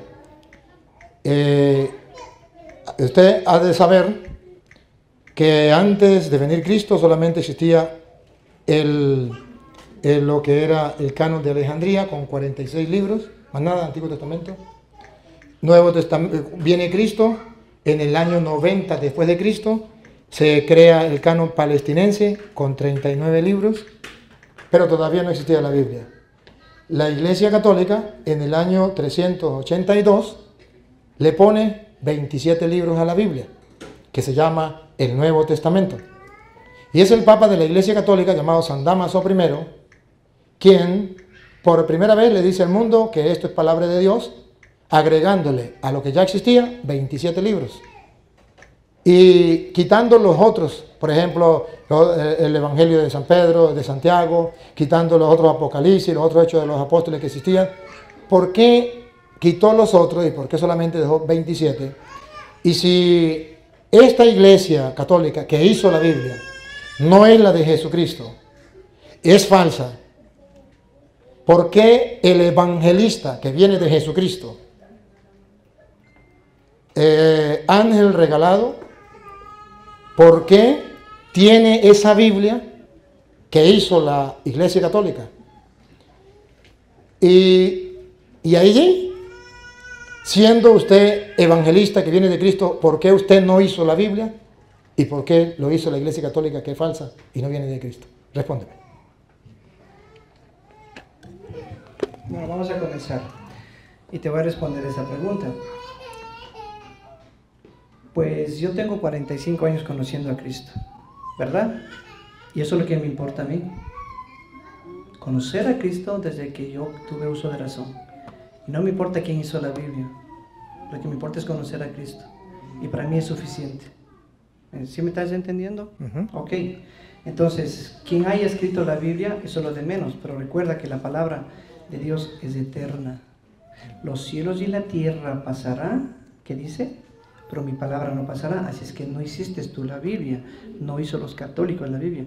La palabra fue ya establecida desde, desde la eternidad pasada de nuestro Señor Jesucristo. Así es que no pongas palabras que ningún ser humano ha hecho la Biblia. Dale gracias a Dios que estás conociendo a Cristo, porque Él puso en tu corazón y en el corazón de, de los que imprimieron la Biblia conocer a ese Cristo. Y yo le conocí a Cristo hace 45 años. Y eso es el mejor milagro que me ha pasado en mi vida, como, de- como debe pasar en todos ustedes. ¿Verdad? Amén, digan. No. O sea, que no creen en Cristo. Ah, que soy mentiroso. Oigan, ok. Bueno, entonces, eso, esa, esa es la respuesta, ¿no? Ustedes escucharon la respuesta del Ya, pues, evangelista. ahora sí me toca a mí. Sí, escucharon la respuesta del evangelista y ustedes van a sacar conclusiones porque acaban de oír que él nomás tiene 45 años. Y de 45 años él se nombra evangelista y ya cree que conoce todo lo de Dios, Pero la iglesia que tiene dos mil años no conoce nada de Dios.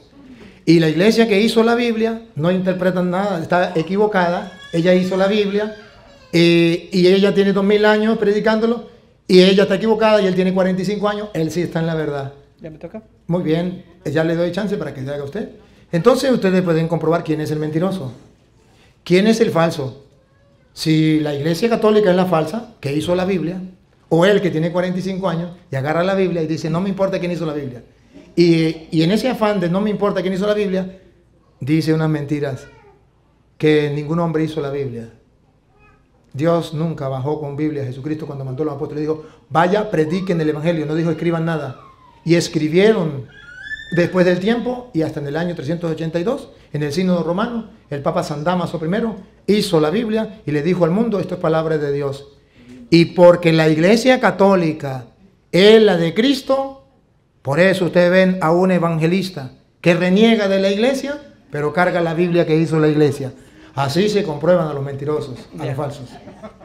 Ok. Otra vez repito. El que tiene oído para oír, oiga lo que el Espíritu dice a las iglesias. Porque no hay una iglesia, hay iglesias. Y, vamos a hablar de la iglesia, ya que él dice que yo ofendí a la iglesia. No es una iglesia, somos iglesia. Ya lo voy a poner para que no les engañe este mentiroso de Luis Toro. Bueno, el mejor milagro que uno puede tener es cuando Cristo te acepta como hijo de Dios. Ese es el mejor. milagro. Ahí comienza la iglesia. Y te va a comprobar con la Santa Escritura. Porque recuerda, No, no, hoy sí no, no te voy a tapar Ok. todo, no te preocupes. lo que él está No, no poniendo, ponle más acá, sí, pues. Ya. lo que él está hablando, poniendo cosas que yo no he hablado, él tergiversa. Yo no he dicho. ¿Cómo es que tú dijiste que la Que, el- iglesia... que la iglesia no es el cuerpo de Cristo, dijo usted. Y retrocedan el video. Ya, que la- no, yo dije así, escucha. Repito, en ninguna denominación ni religión hay la salvación. Ustedes re- retrocedan, retrocedan el video. déjame bueno, ¿me vas a dejar hablar o, o- Está bien. o hablas tú? Ok, mira. Te voy a poner con la palabra de Dios para que ustedes vean dónde está la iglesia. No es, ya les voy a poner ahorita mismo, escucharán bien, amigos y hermanos. Porque este hombre piensa que lo física, la física donde está Roma, es la iglesia. Eso está pensando, entonces la iglesia donde tienen que ir a adorar todos. No, la iglesia es esta, ya les voy a comenzar, y también del apostolado que, que este hombre tiene. Mira, es algo bien irónico. Vamos a hablar rápido del apostolado, de la sucesión apostólica. Ya, tranquilo, de la sucesión apostólica. Y me parece bien raro cuando encontramos en, Mateo 10, ¿verdad? En Mateo 10, encontramos algo bien hermoso lo que Cristo hizo. Escucharán bien. Dice, entonces, llamando a los doce sacerdotes, no dice así, Cristo. Entonces, a sus doce discípulos, no dice doce sacerdotes, una pregunta para el público. Si, si nuestro Señor Jesucristo estuvo con los levitas, con los, con los judíos, con el pueblo de Israel, ¿por qué no se dignó en levantar doce sacerdotes para que sean doce sacerdotes del Dios Altísimo? Pero, ¿por qué no se dignó? Háganse esa pregunta. ¿Por qué no se dignó? Entonces, dijo, no, no, yo no voy a levantar 12 sacerdotes, voy a levantar 12 apóstoles. Y aquí están los nombres de los 12 apóstoles. Dice, escucharán bien, él no levantó 12 sacerdotes teniendo la oportunidad de su pueblo levantar 12 sacerdotes, como este hombre dice que es del Dios Altísimo. No los levantó. El mismo Cristo. Así que no muevan la, no muevan la cabeza, porque es palabra de Dios. No levantó 12 sacerdotes, levantó 12 apóstoles. Ahora pregúntenle a Dios por qué no quiso levantar sacerdotes para el Nuevo Testamento o para que siga la sucesión apostólica, como este hombre dice. Tienen una confusión tremenda. Si son, si son apostólicos, no pueden ser sacerdotes, o si son sacerdotes, no pueden ser apostólicos. ¿Qué mismos son? Ahora mira, otra cosita. Él dice que es por la sucesión apostólica de Pedro como el primer papa. Mentira de Satanás. ¿Quién murió primero? ¿Quién murió primero, Pedro o Juan? El apóstol, Juan. ¿Quién murió primero? Pedro, perfecto. Pedro murió primero. Entonces, ¿dónde, dónde dejó la sucesión apostólica Pedro? ¿A quién dejó? Nada. Si murió Pedro, se supone que ha, de haber dicho, bueno, yo dejo la sucesión apostólica a tal, a tal. Juan el Bautista, Juan el último, el apóstol Juan murió último. ¿A quién dejó Juan? Les hago una preguntita. Mentira de Satanás. No hay sucesión apostólica. Y ya les voy a comprobar. Bueno, vamos a comprobar la iglesia. Dice, los nombres de los doce apóstoles, no los nombres de los doce sacerdotes. Es una mentira. Que Dios reprenda al diablo, que Dios reprenda a todos estos mentirosos que se hacen llamar sacerdotes. Como él me dice, yo me hago llamar evangelista falso, pues este es más falso que yo, porque yo siquiera estoy en las yo siquiera estoy en las santas escrituras, en cambio él no está. En los, en los cinco ministerios que Dios formó, que Cristo formó. Cinco ministerios, apóstoles, pastores, evangelistas y maestros. Pero él no asoma en los cinco ministerios que Cristo fundó, no la iglesia, Pal, no, Cristo. Entonces, los nombres de los doce apóstoles, no de los doce sacerdotes, son primero Simón, llamado Pedro, Andrés, Jacob, Ito, Zebedeo, Felipe, Bartolomé, Tomás. Bueno, ustedes ya saben eso. Entonces, no levantó sacerdotes nuestro Señor Jesucristo cuando tuvo la oportunidad de levantar doce sacerdotes. Ok, ahora vamos a la iglesia. Dice eh, que yo he dicho que la iglesia, la iglesia no es el lugar físico, no es el lugar físico donde tú te congregas. La iglesia, escucharás y te va a dar la prueba. ¿Por qué? Para que no me diga falso y el falso es este hombre que está al lado mío poniéndome aquí este micrófono. Bueno, escuchen, escuchen amigos y hermanos. Soy, soy chistoso, ¿verdad? ¿Verdad? Gracias, gracias. Escuchen. Dice, Jehová dijo así, ¿quién? Yahvé, Jehová, lo que sea. Escuchen. Jehová dijo, el cielo es mi trono y la tierra el estrado de mis pies. ¿Dónde está la casa que me habréis de edificar, oh hombre? ¿Dónde está la casa que me habréis de edificar? ¿O la iglesia? ¿En qué lugar yo me pondré? Escucha bien, dice la palabra de Dios, no lo digo yo. Él dice que soy antibíblico, pero lo estoy leyendo con la palabra de Dios y le estoy refutando todas sus mentiras. ¿Dónde está la casa que me habréis de edificar y dónde está el lugar de mi reposo? Mi mano hizo todas estas cosas y así todas estas cosas no fueron hechas por mi mano. Pero miraré a aquel que es pobre, pobre y humilde de espíritu y quien tiembla a mi palabra, no a tu religión, no a tu catolicismo, no a tu, bautismo, a, tu iglesia bautista, no, a, a la palabra de Dios. Entonces ahí comienza la iglesia, porque la iglesia es espiritual, no es física. Y te va a comprobar. Vámonos. De la cita, porque la gente... A ver, Isaías, eh. Isaías 66.1. ¿Qué casa me haberes de edificar, hombre malo y perverso? ¿No hizo todas estas cosas mi mano? ¿No hizo todos los cielos y la tierra? Entonces, ¿dónde está el templo de mi reposo? ¿Cuál es el templo? Dime, dime tú, ¿cuál es el templo? Ellos piensan que la iglesia católica es el templo. Mentira de Satanás. Y les voy a indicar cuál es el templo. Isaías 66, ¿qué? Uno. Ya les voy a enseñar cuál es el templo. Escuchen bien. El templo, que eres tú y yo, y la iglesia no es física, la iglesia es espiritual. Ya te voy a poner. Tranquilos. Mira, escucharás bien. Eh, Primera de Corintios 6. Primera de Corintios 6. 19.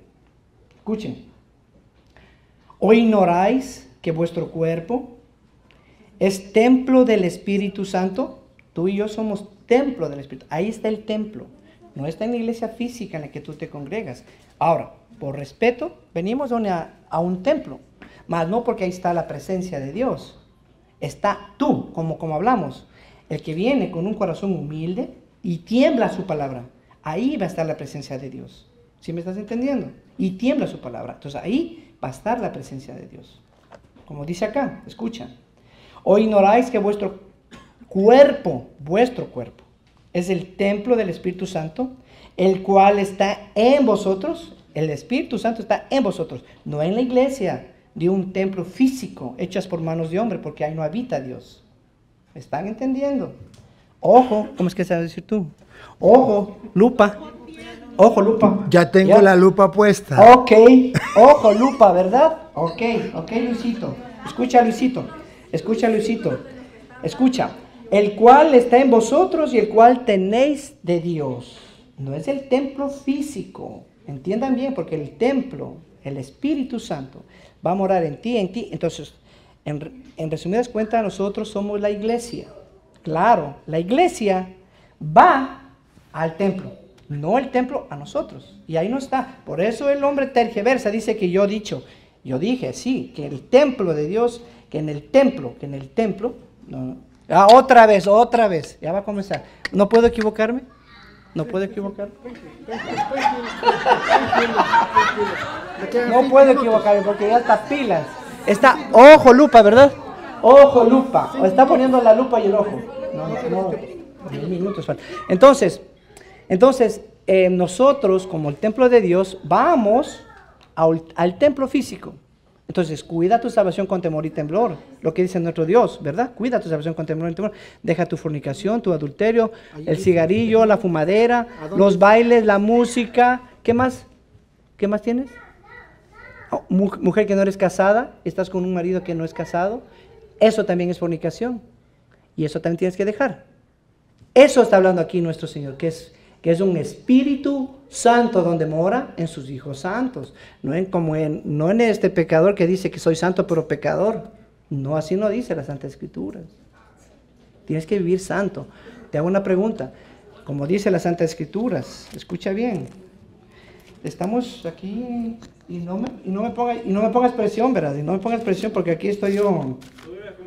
Y el otro aquí presionándome y el otro acá presionándome. No, 15 minutos. Ok, escucha. Como dice, Primera de Pedro, ¿verdad? Primera de Pedro, vamos a ver. ¿Dónde está Primera de Pedro? Primera de Pedro. Vamos rapidito para seguir con la iglesia. Primera de Pedro. Espera un ratito, ¿dónde está?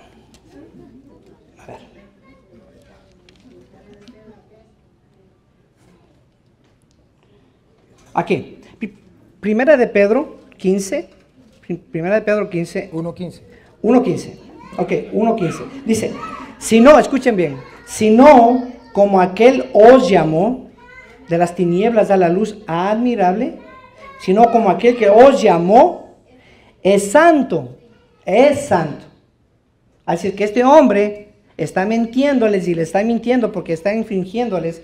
Como este hombre es pecador, les quiere decir a ustedes que todos son pecadores y que todos son santos y no se preocupen, sigan pecando y váyanse al cielo. Así no es. Así no es. Él lo dice así. ¿Ok? No es así. Escuchen. Calumnia. Tú- ahí está tu video, si quieres yo, yo, yo, yo te puedo subir tu, tu video que dices que todos somos santos pero pecadores. A eso lo dices tú. Ok, escucha, mira, escucha. Y dice, sino que como aquel os llamó el santo, sed también vosotros santos en toda vuestra manera de vivir, en toda. No, como este hombre dice que soy santo pecador, soy sacerdote, pero santo pecador. Y además él defendió a los pedófilos, a los perrastras y a todos. Hizo un video también. As- no, pues eso, por eso yo vengo a, a contra, a, a refutar y todas esas mentiras. Ok, escucha. Y dice, porque escrito está, sed santos porque yo soy santo. Ser santos porque yo soy santo. Y si invocáis por Padre a aquel que sin acepción eh, juzga a toda persona, la obra de cada uno, conducíos en temor todo el tiempo de vuestra peregrinación. Así es que ser santos, no sean pecadores, procuren pedir a Dios que les limpie, que purifique, que santifique sus vidas, porque él, él eso, él vino para salvar, no vino a condenar a nadie. Así es que escuchen. No se dejen llevar por este hombre, porque él dice que todos somos pecadores y todos somos santos. Por eso la iglesia es santa y pecadora. La iglesia católica es santa y pecadora. Vean, vean, vean, vean mi video. Ahí está. Váyanse a mi página. Ahí, ahí yo saqué lo que él habla. Vayan. Que toda la iglesia son, por eso dice la iglesia católica, son los santos y pecadores. No le crean. Primero tiene que purificarse. Tiene que, que entregarse al verdadero Cristo. A este Cristo que les estoy predicando yo hoy día. Escuchen, vámonos tranquilos. No se me enojen. Vámonos a Juan. Vamos, vamos, estamos encontrando la iglesia. No es el templo físico, es el templo espiritual. Escuchen. Cuatro. Juan 4. Juan 4:20. Vuestros padres, los católicos, ¿verdad? Vuestros padres. No, es que usted estamos hablando de la iglesia católica. Vuestros padres adoraron en este monte, vuestros padres adoraron en este monte, y vosotros decís que en Jerusalén es, de, es el lugar de donde se adora. Como ustedes dicen, no en Roma, en Roma está la Santa Sede, mentira. Ya les voy a enseñar cuál es la Santa Sede. ¿Y dónde está? La Iglesia Santa. La Iglesia Santa eres tú y yo, siempre y cuando obedezcas la palabra.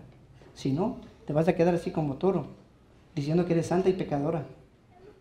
Así, así te vas a quedar como este hombre que está al lado mío, diciendo que es santo y pecador. Así, así mismísimo. Escucha, ponme acá. Mira, dice, nuestros padres adoraron este monte y vosotros decís que en Jerusalén es de adorar, donde, donde se debe de adorar. Mentira, no es en la católica, no es en la bautista, no es en ninguna religión hecha por manos de hombres. Escucha, escucha dónde se debe de adorar. Jesús le dijo, mujer, créeme que la hora viene y cuando ni en este monte, ni en la católica, ni en los bautistas, ni en los pentecostales, adoraréis al Padre. Escucha, vosotros adoráis lo que no sabéis. Vosotros adoráis lo que no sabéis. Nosotros adoramos lo que sí sabemos. Porque la salvación viene de los judíos. Y otra pregunta, bueno, no le voy a hacer pregunta porque me va a quitar el... Escuchen. Escuchen. Y él odia a los judíos, porque ellos odian a los judíos. Y no me digan que no, le dicen, escucha. Y yo, y yo te digo porque tengo pruebas. Yo no te digo que tú, yo no te digo que tú. Yo no, yo, yo no estoy diciendo que... Espera, no, no, espérate un ratito más. Solo me falta un ratito más. Escucha. Mas la hora viene, escuchen ya. Y si yo ya acabé con esto ya. Estamos buscando la iglesia que es espiritual, no es física. Bájale, bájale un poquito más. Eso ahí. Mas la hora viene y ahora es cuando los verdaderos adoradores adorarán al Padre, al Padre, no a la iglesia católica ni a la bautista. Estoy, estoy afirmando, estoy corroborando. Otra vez me tapas. Al Padre en espíritu y en verdad. Porque también el Padre, quien, nuestro Señor y Salvador Jesucristo, tales adoradores buscan que le adoren, porque Dios es espíritu.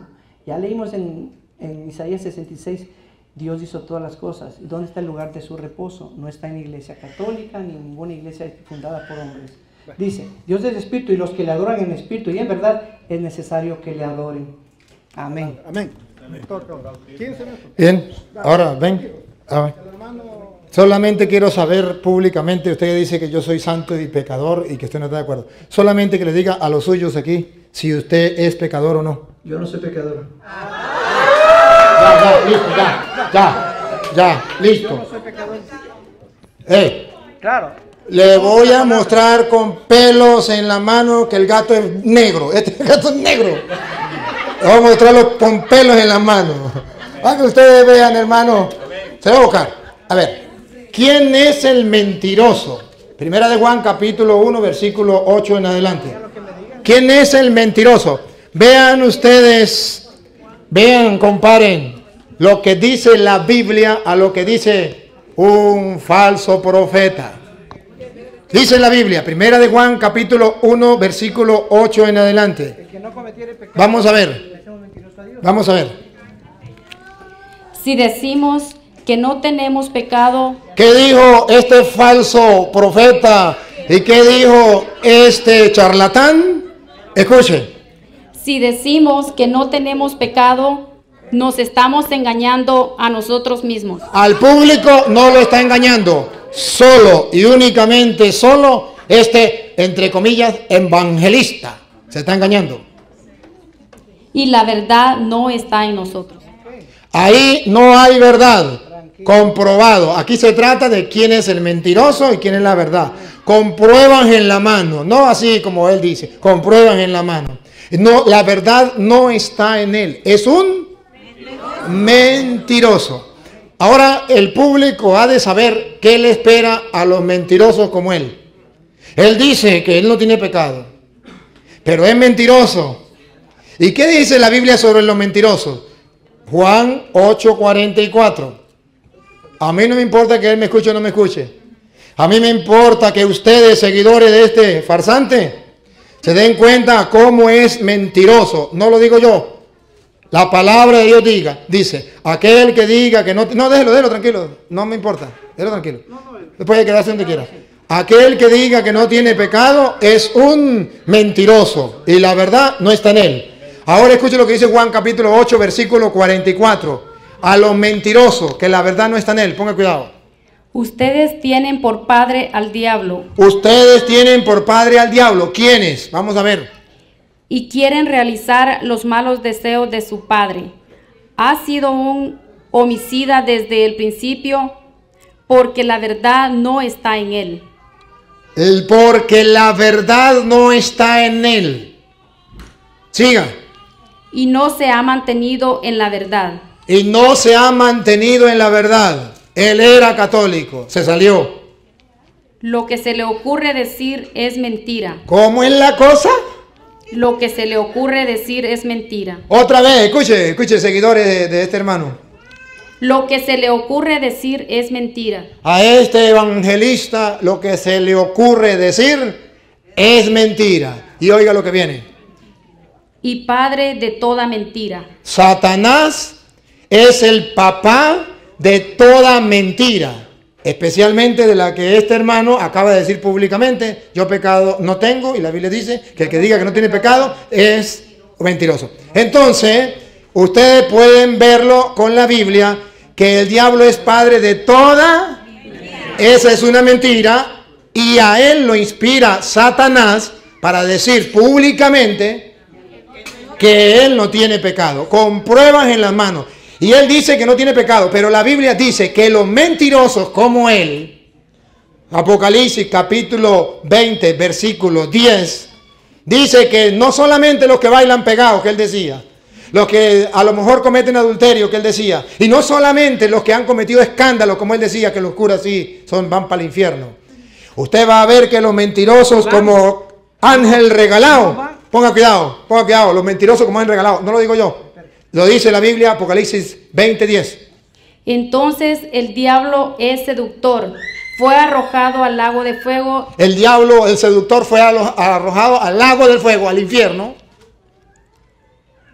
y azufre, donde ya se encontraban la bestia Las bestias, y el falso profeta. ¿a dónde van los falsos profetas como regalados? Al lago de azufre. Dice, ahora ustedes verán ver 21.8 de Apocalipsis. 21.8. Pero para los cobardes, Cobardes, los renegados, los renegados, los corrompidos, los corrompidos, que él dice, él dice, los corrompidos, los católicos, los asesinos, los asesinos. los impuros. Está bien, está bien. Solo yo. Solo yo. El cura toro. Los hechiceros, Los hechiceros y paren la oreja para ver si regalado también. los idólatras. Los idólatras y escuche. En una palabra, En una palabra, saquen la foto a regalado. todos los falsos, su lugar y su parte es el lago de Arde. Pácata. Los falsos. Su lugar es el lago que arde. 22.15. Ahora, Oye, Apocalipsis. ¿y el purgatorio? 22.15. Va. Purgatorio. 22.15. ¿Quieres mano de Tranquilo, purgatorio? tranquilo. Deja. Quiere tapar, quiere tapar, quiere- tapar, quiere tapar, como está acostumbrado ¿quién paga el a hacer como los gatos. Hacen pupú y tapan. Quieren tapar, no a tapar. A ver, 22.15. Fuera los perros, Fueran los perros, los hechiceros, los hechiceros, los impuros, los impuros, los asesinos, los asesinos, los idólatras los idólatras. y todos los que aman y practican la mentira. ¡Eh, eh! ¡Ay, ay, ay, ay! ¡Ay, ay, ay! Otra vez. Bueno, cuidado, que es verdad lo que él dice. Sí, los hechiceros, sí, los borrachos, sí, eso sí. Pero él dice que no tiene pecado. Y es, No tengo pecado, repito. repite, No tengo, no tengo pecado. ahí está. Entonces, otra vez lo que le espera, ponga cuidado. Otra vez, otra vez. Y todos los que aman y practican la mentira. Y todos los que aman y practican la mentira. Este encuentro tiene solo una finalidad. bailan, Quitarle la máscara a los mentirosos de Satanás Ojo, que andan engañando a la gente con un título de evangelista, apóstol, pastor. Que quede al descubierto quién es el mentiroso. Ahora, este hermano, por ignorancia, porque no es otra cosa, es ignorante, nadie le enseñó. Hoy un cura le va a enseñar, no sabe lo que es ser apóstol y no sabe lo que es iglesia. Él dice, Jesucristo instituyó apóstoles. Pero él no sabe qué significa apóstol. Apóstol significa enviado.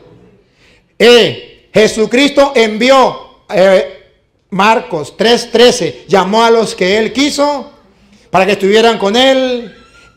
Instituyó 12 Sacerdotes. 12 a quienes llamó apóstoles, enviados, lo iba a enviar a predicar. Apóstol significa enviado.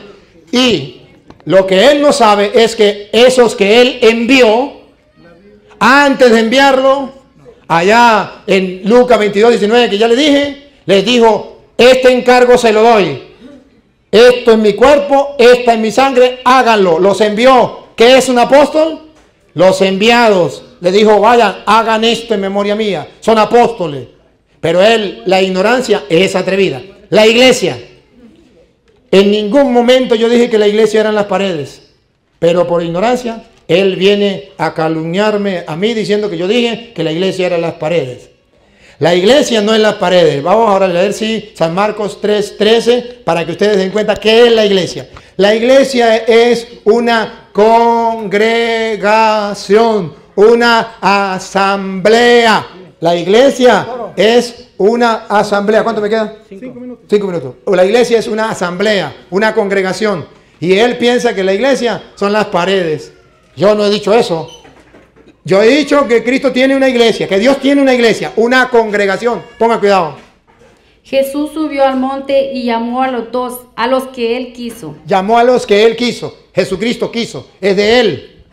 y se reunieron con él. Así instruyó a los doce A los doce, congregación, eso se llama iglesia. Una congregación, un grupo, una asamblea. Él piensa que son paredes.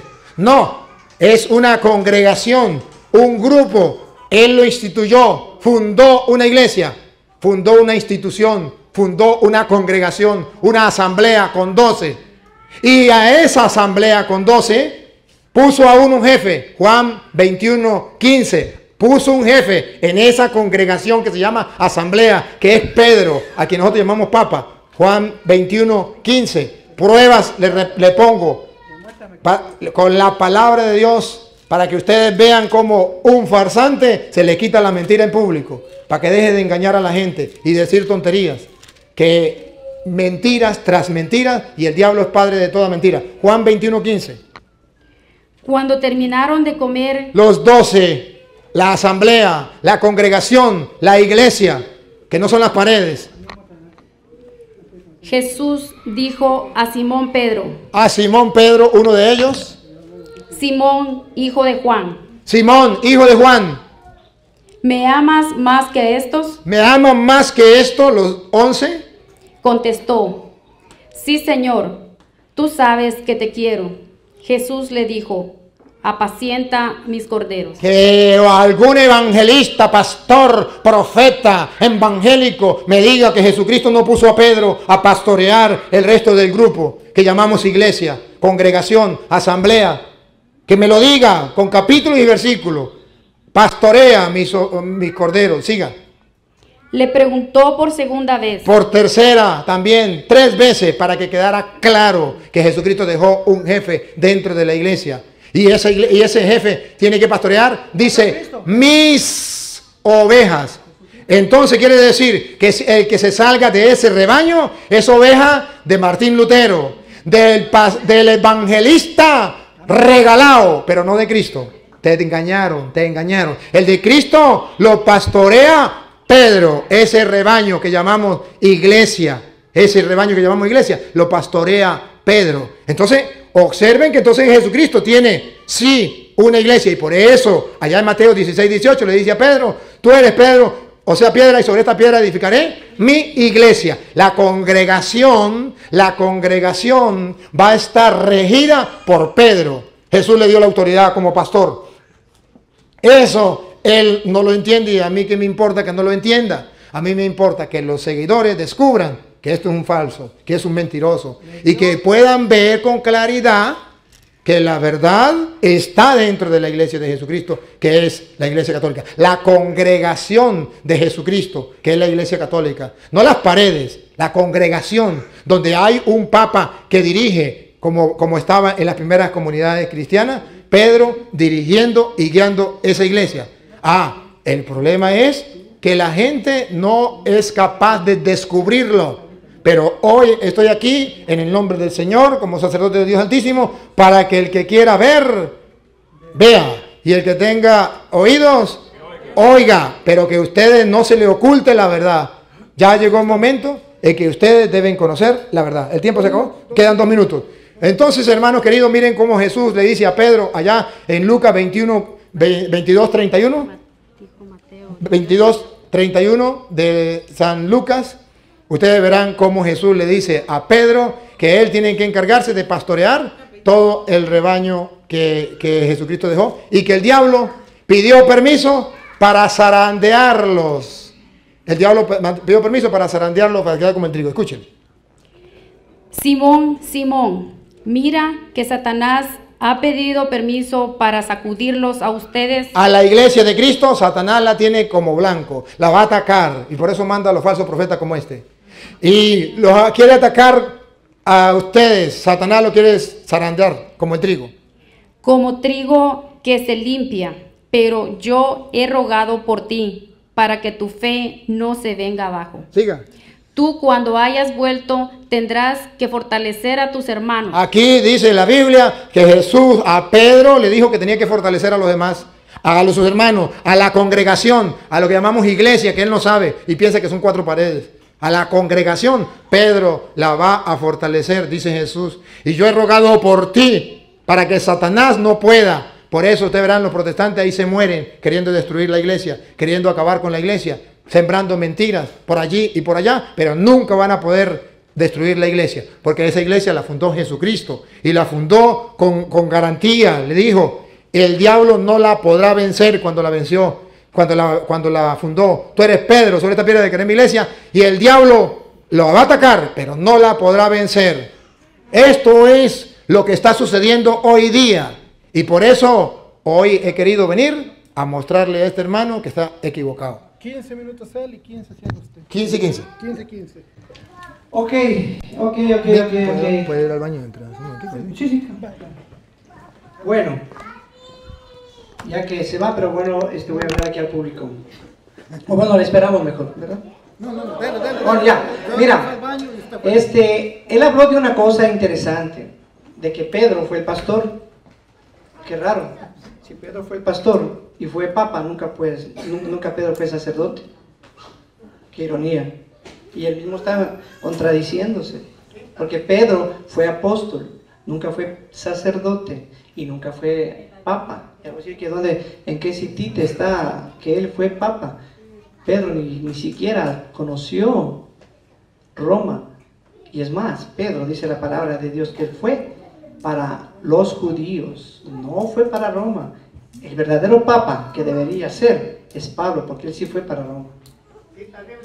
Dale, dale la cita. ¿De cuál? De lo que está diciendo, de la cita. ¿Cuál cita de qué? ¿De qué? Eso, lo que está diciendo usted, compruébalo con la Biblia. Así como lo No, no, no. Primeramente ustedes no tienen que refutarme. No, ahorita aquí. Yo, yo estoy con mis 15 minutos y yo puedo hablar lo que yo quiera con mis 15 minutos. Si ustedes me escuchan, me escuchan. Ok, escuchen. Le voy a refutar a, a Luis Toro. Él dice, como ya les dije, que le dice pastor, pero en la iglesia católica no hay ningún pastor. Qué raro, por eso digo, es irónico.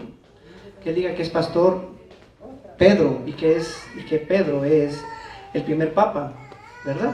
Que me demuestre con la escritura, con la escritura que... Bueno, pero... yo- bueno, se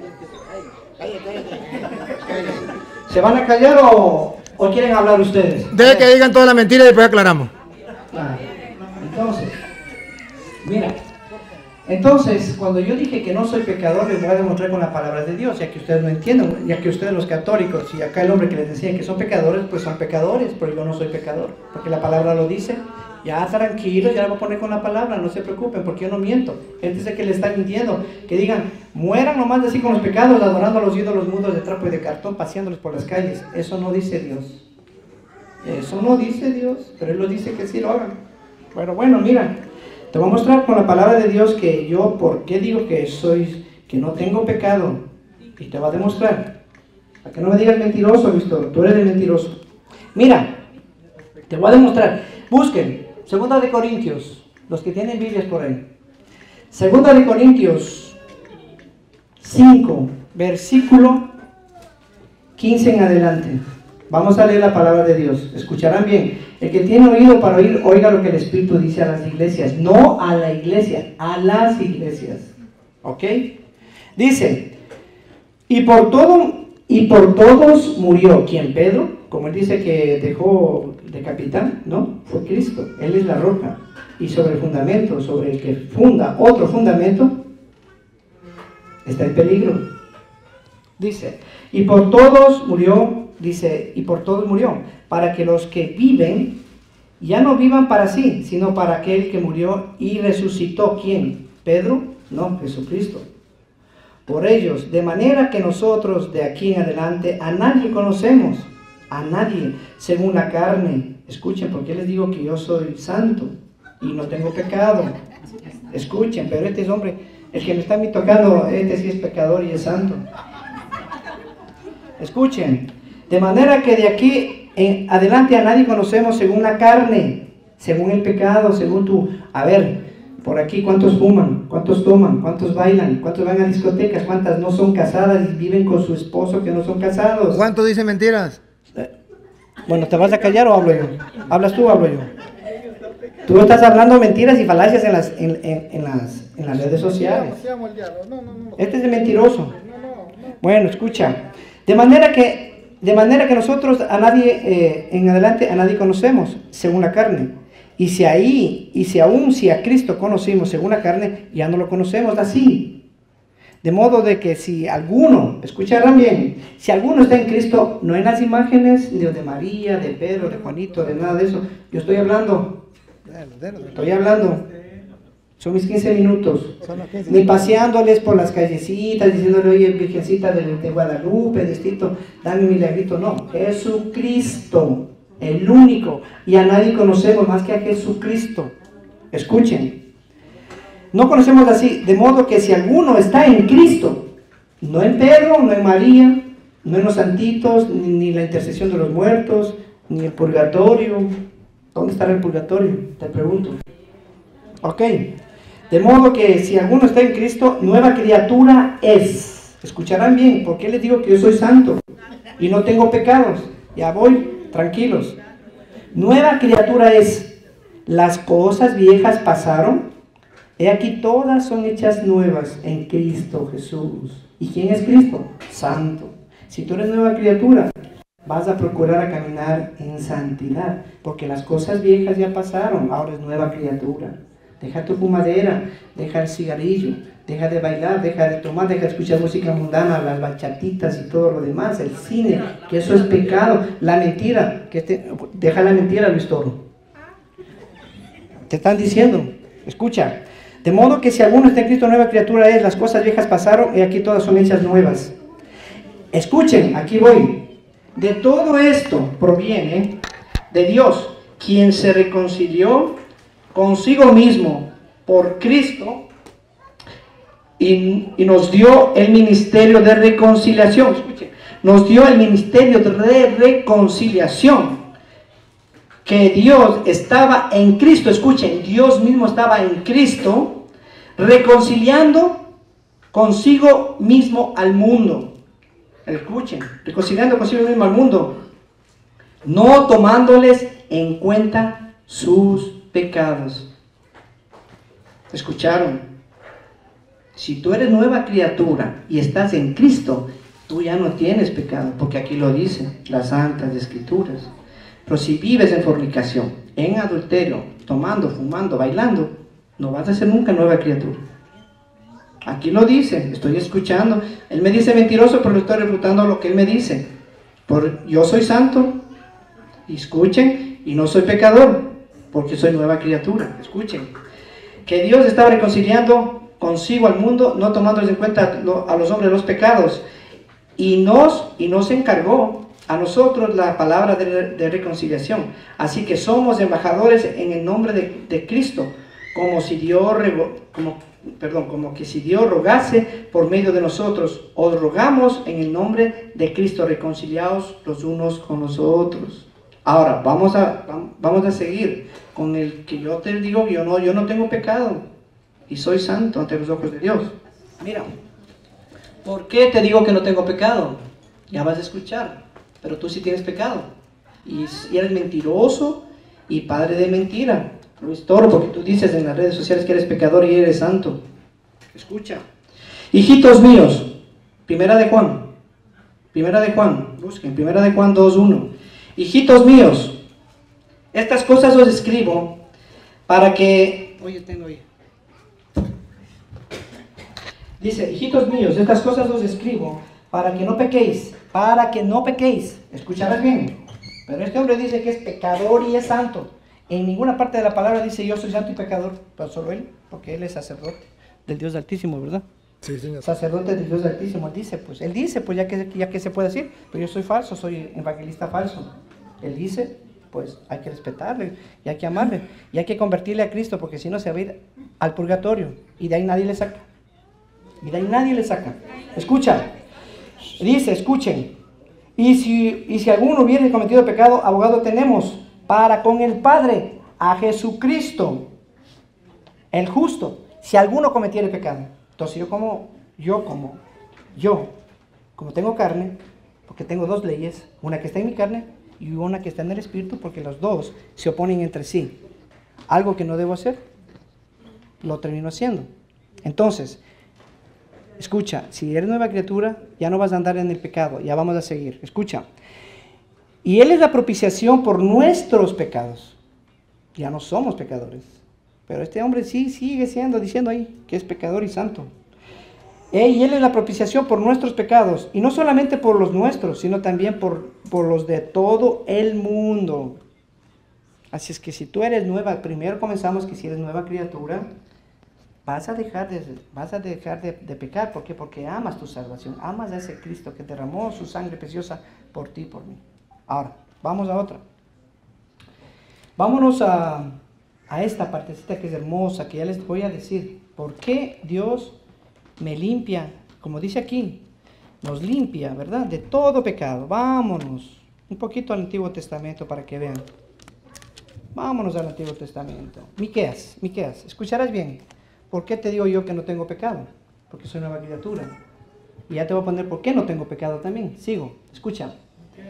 Las naciones, ah no, eh, Miqueas 7, 18. Escucha bien. ¿Qué Dios como tú, que, que perdona la maldad y olvida el pecado del remanente de su heredad? ¿Qué Dios como tú que perdona la maldad y el pecado del remanente de la, de la heredad? No retuvo para siempre su enojo, porque se deleita en misericordia, porque no vino a condenar al mundo, sino a salvar. Y si tú eres pecador, lo único que Dios te dice ahora, que te arrepientas, como yo me arrepentí, y que seas santo, porque Dios es santo. Así como Dios los llamó en santidad, vivan en santidad.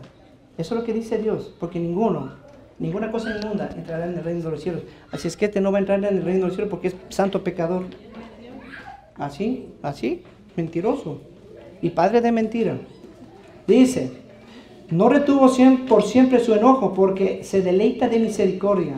Él volverá a tener misericordia de nosotros. Sepultará nuestras iniquidades. Escuchen, sepultará nuestras iniquidades y echará en el profundo del mar. En lo profundo del mar todos nuestros pecados. ¿Están escuchando?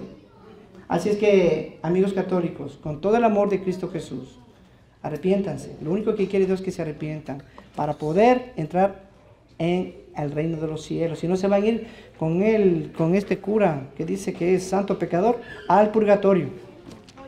Escuchen. Ahora, vámonos rapidito a Gálatas. Sí, se, va a ir se, se van a ir al purgatorio porque él dice que también hay purgatorio. Ahora, ¿de dónde sacó esa, esa tal situación? ¿De dónde sacaría tal situación del, del- del tal purgatorio? Bueno, vamos a ver. Gálatas. Ok. Dice las obras de la carne y las obras del espíritu. Estamos hablando de Gálatas, Gálatas, Gálatas 5, 16. Dice, digo pues, andar, andar en el espíritu, ya saben que la iglesia no es física, es espiritual. La iglesia no es física, es espiritual. Digo pues, andar en el espíritu y no satisfagáis los deseos de la carne. Porque el deseo de la carne es contra el espíritu.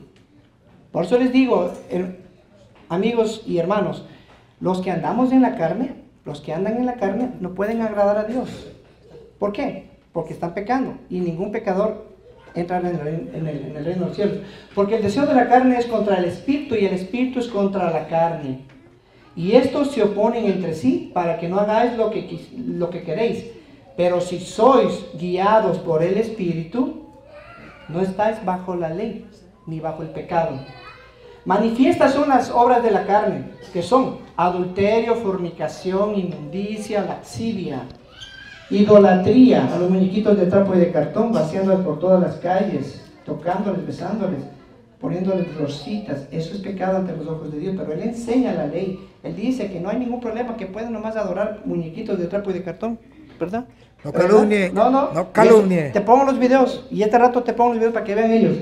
Que no hay ningún problema poner imágenes, que las imágenes no se enoja a Dios, que pueden pasearles, que la virgencita de aquí, de aquí para allá. Hermanos, si, si tú no eres nueva criatura, jamás podrás entrar en el reino de los cielos. Eso, eso estamos escudriñando las Santas Escrituras, ¿verdad? No puedes entrar en el reino de los cielos. La idolatría, hechicería, enemistades, pleitos, celos, iras, contiendas, disensiones, herejías, envidias, homicidios, borracheras, orgías, cosas, escuchen bien por cuál les digo yo que soy santo, sea, casi, casi igual que tú. Casito, porque ya ves, casito. Bueno, ¿por qué les digo que yo soy santo y que no peco? Porque soy nueva criatura. Escuchen, escuchen, ¿dónde está el pecado? Escucharán. Dice, envidias, homicidios, borracheras, orgías y cosas semejantes a estas, las cuales os, os amonesto, el Espíritu de Dios, os amonesto, les llamo la atención, ¿para qué? Para que no pequéis. Escuchen, os amonesto, como ya os he dicho antes, que los que practican tales cosas no heredarán el reino de los cielos. Entonces, ahí, ahí está lo que él dice. Como él es pecador y él es santo, entonces él se va al purgatorio, no al infierno. Al purgatorio. Falta, falta, espérate.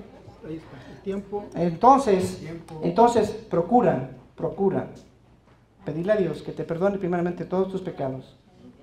No bailes, no tomes, no fumes, déjame hablar y déjame hablar. Bueno, ya, ese es el último de él, ¿no? Sí, el último mío. Bien, hermanos, solamente quiero terminar este, mostrando eh, un poquito más de las mentiras que el hermano ha dicho. Romanos capítulo 3, versículo 23. Romanos 3, 23. Venga para acá, hermana, no se siente. Usted sabe que me gusta que pare aquí. A que me vean aquí en la cámara, no es que los que siguen a este hermano tienen que, tienen que ver... también saluda a los católicos, aquí está un montón de católicos. Lo- no, no, pues claro, no, no tengo el canal mío, tienen que verlo ahí. No, pero aquí está católico. Por eso, venga. Aquí está un A ver, montón de arriba para acá, arriba para acá, arriba para acá. Ajá. Escuche, escuche. Mire la mentira de este hermano.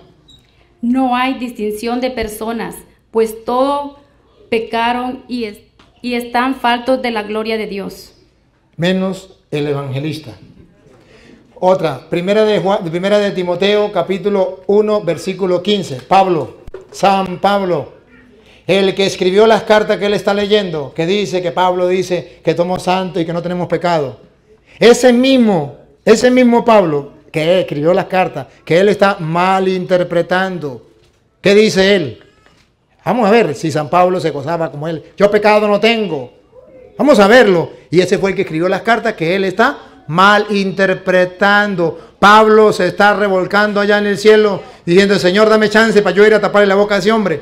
Venga, primera de Timoteo, capítulo 1, versículo 15. Lo que dice Pablo, primera de Timoteo, ayúdele, mujer. Ok, aquí está, ya. Esto es muy cierto. Esto es muy cierto. Lo que él dice es falso. Lo que dice Pablo en la escritura, esto es muy cierto.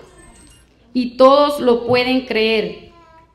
Todos, católicos y no católicos, lo pueden creer. Que Cristo Jesús vino al mundo para salvar a los pecadores. Que Cristo Jesús vino al mundo para salvar a los pecadores. Y pare la oreja aquí dice Pablo. de los cuales soy yo el primero. Pablo es pecador. Yo soy pecador, dice Pablo. Pero este seguidor de Pablo, que conoce las escrituras y es más papista que el Papa, él no tiene pecado. Mire cómo a un embustero se le quitan las mentiras en, en el público. Mire cómo es un farsante, un charlatán, un falso profeta. Pero está engañando a la gente con, con capítulos y versículos, le estoy diciendo. No, no creen ustedes que yo estoy jugando. Le estoy comprobando. Me toma primera de Juan capítulo 2 y la malinterpreta. Primera de Juan capítulo 2, versículo 1 en adelante. Escúchelo a ver si dice que no tenemos pecado. Pablo dice que tenemos pecado. Juan dice que tenemos pecado. Pero Capítulo 2 en- ese es un gran problema, el torcer las escrituras. Primera de Juan capítulo 2, versículo 1. Hijitos míos, les he escrito esto para que no pequen, Para que no pequen. Vamos a ver si vamos a pecar o no. Pero si uno peca, Ahí está. Si somos pecadores. Y si no, ¿por qué dice, pero si uno peca? Entonces, ¿por qué dices, pero si uno peca? Abogado tenemos. Entonces, si somos pecadores. Si no, Pablo no, entonces no Juan no dijera, si uno peca.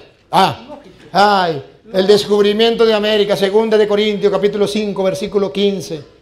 El que, es- el que vive en Cristo, nueva criatura es. Vamos a interpretar lo que dice la Escritura. Vamos a mostrarle al público cómo malinterpreta las Escrituras para su propia condenación, para su propio daño, como dice Pablo. Segunda de Corintios, capítulo 5, versículos 15 en adelante. Para que vean ustedes por qué la iglesia le dice a los católicos, cuídense de esa gente. Cuídense, porque mira dónde los llevan. Él murió por todos para que los que viven no vivan ya para sí mismos, sino para Él, para el que por ellos murió y resucitó. Así que nosotros no miramos ya a nadie con criterios humanos. Aún en el caso de que hayamos conocido a Cristo personalmente, ahora debemos mirarlo de otra manera. Toda persona que está en Cristo Toda persona que está en Cristo, mire cómo él malinterpreta. Toda persona que está en Cristo es una creación nueva. es una creación nueva. No dice que no tiene pecado. Es una creación nueva. Ya viene el Nuevo Testamento. Nueva creación. Somos en Cristo Jesús. Siga. Lo antiguo ha pasado. Lo antiguo ha pasado y ustedes y yo ciertamente estamos invitados a dejar toda la vida de pecado. Eso sí, pero escuche lo que viene. Lo nuevo ha llegado. Lo nuevo ha llegado. ¿Quieren ver qué es lo nuevo? Paren la oreja. ¿Qué es lo nuevo?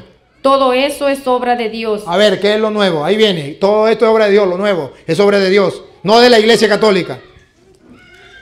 que nos reconcilió con Él en Cristo Eso es lo nuevo. Nos reconcilió con Él en Cristo.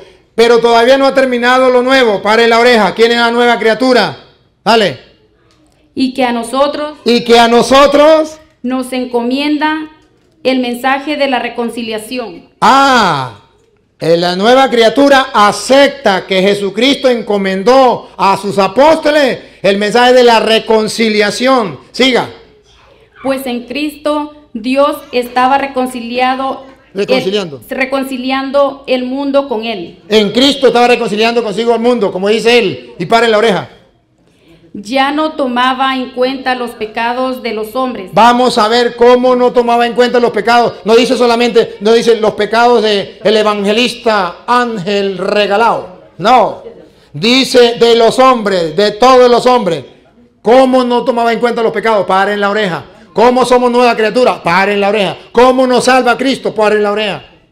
sino que a nosotros nos entregaba el mensaje de la reconciliación. Así perdona Dios los pecados, dándole a los hombres el, el ministerio de la reconciliación. No me le haga conversa al hombre.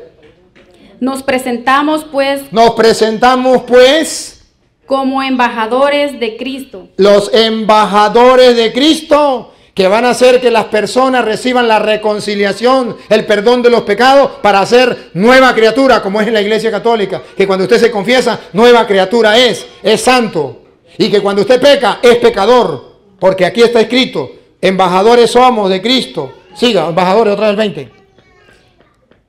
embajadores de Cristo, como si Dios mismo le exhortara por nuestra boca.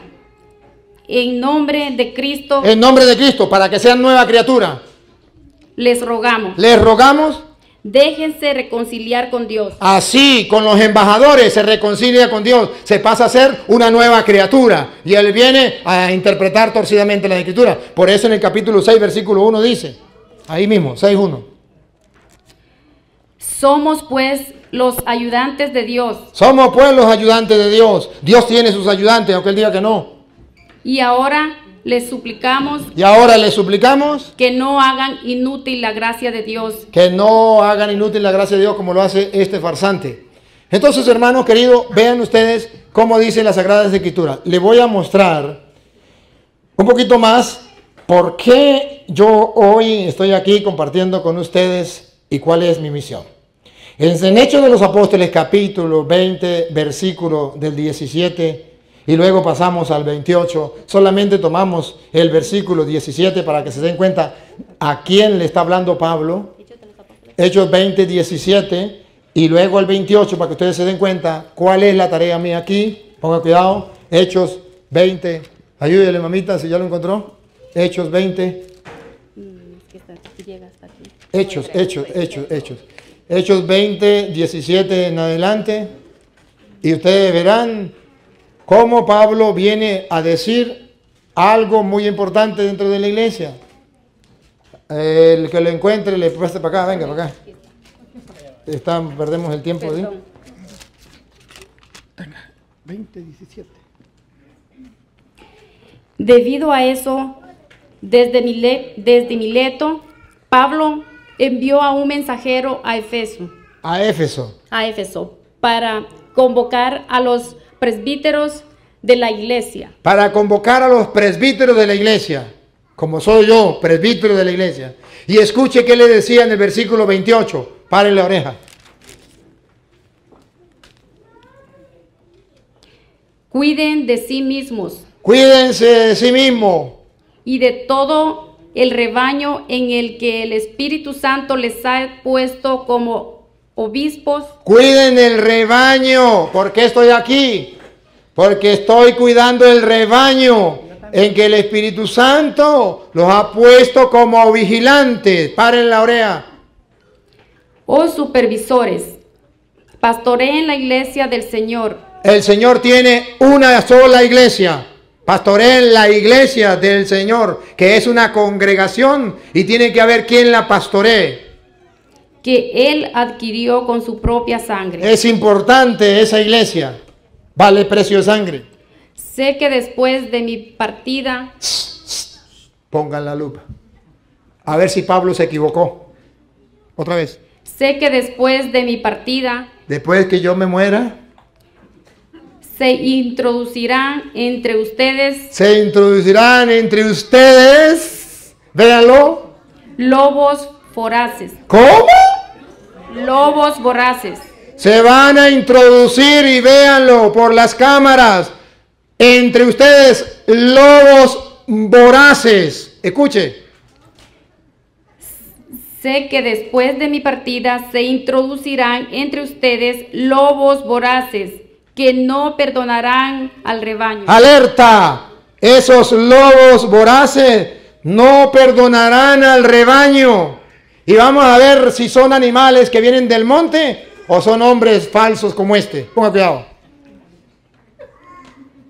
De entre ustedes mismos, Repítalo, repítalo.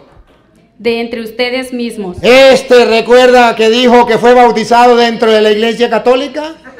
De entre ustedes mismos, ¿de dónde salen las sectas? De la iglesia católica. ¿O no? ¿De dónde salió Martín Lutero, sacerdote de la iglesia católica? ¿De dónde salen los protestantes de la iglesia católica? De entre ustedes mismos saldrán hombres que enseñarán doctrinas falsas, Para la muestra un botón que enseñarán doctrinas falsas. Doctrinas falsas. Y para la oreja. e intentarán E intentarán arrastrar a los discípulos tras sí. arrastrar a los católicos tras de él. Pero hoy no pudo.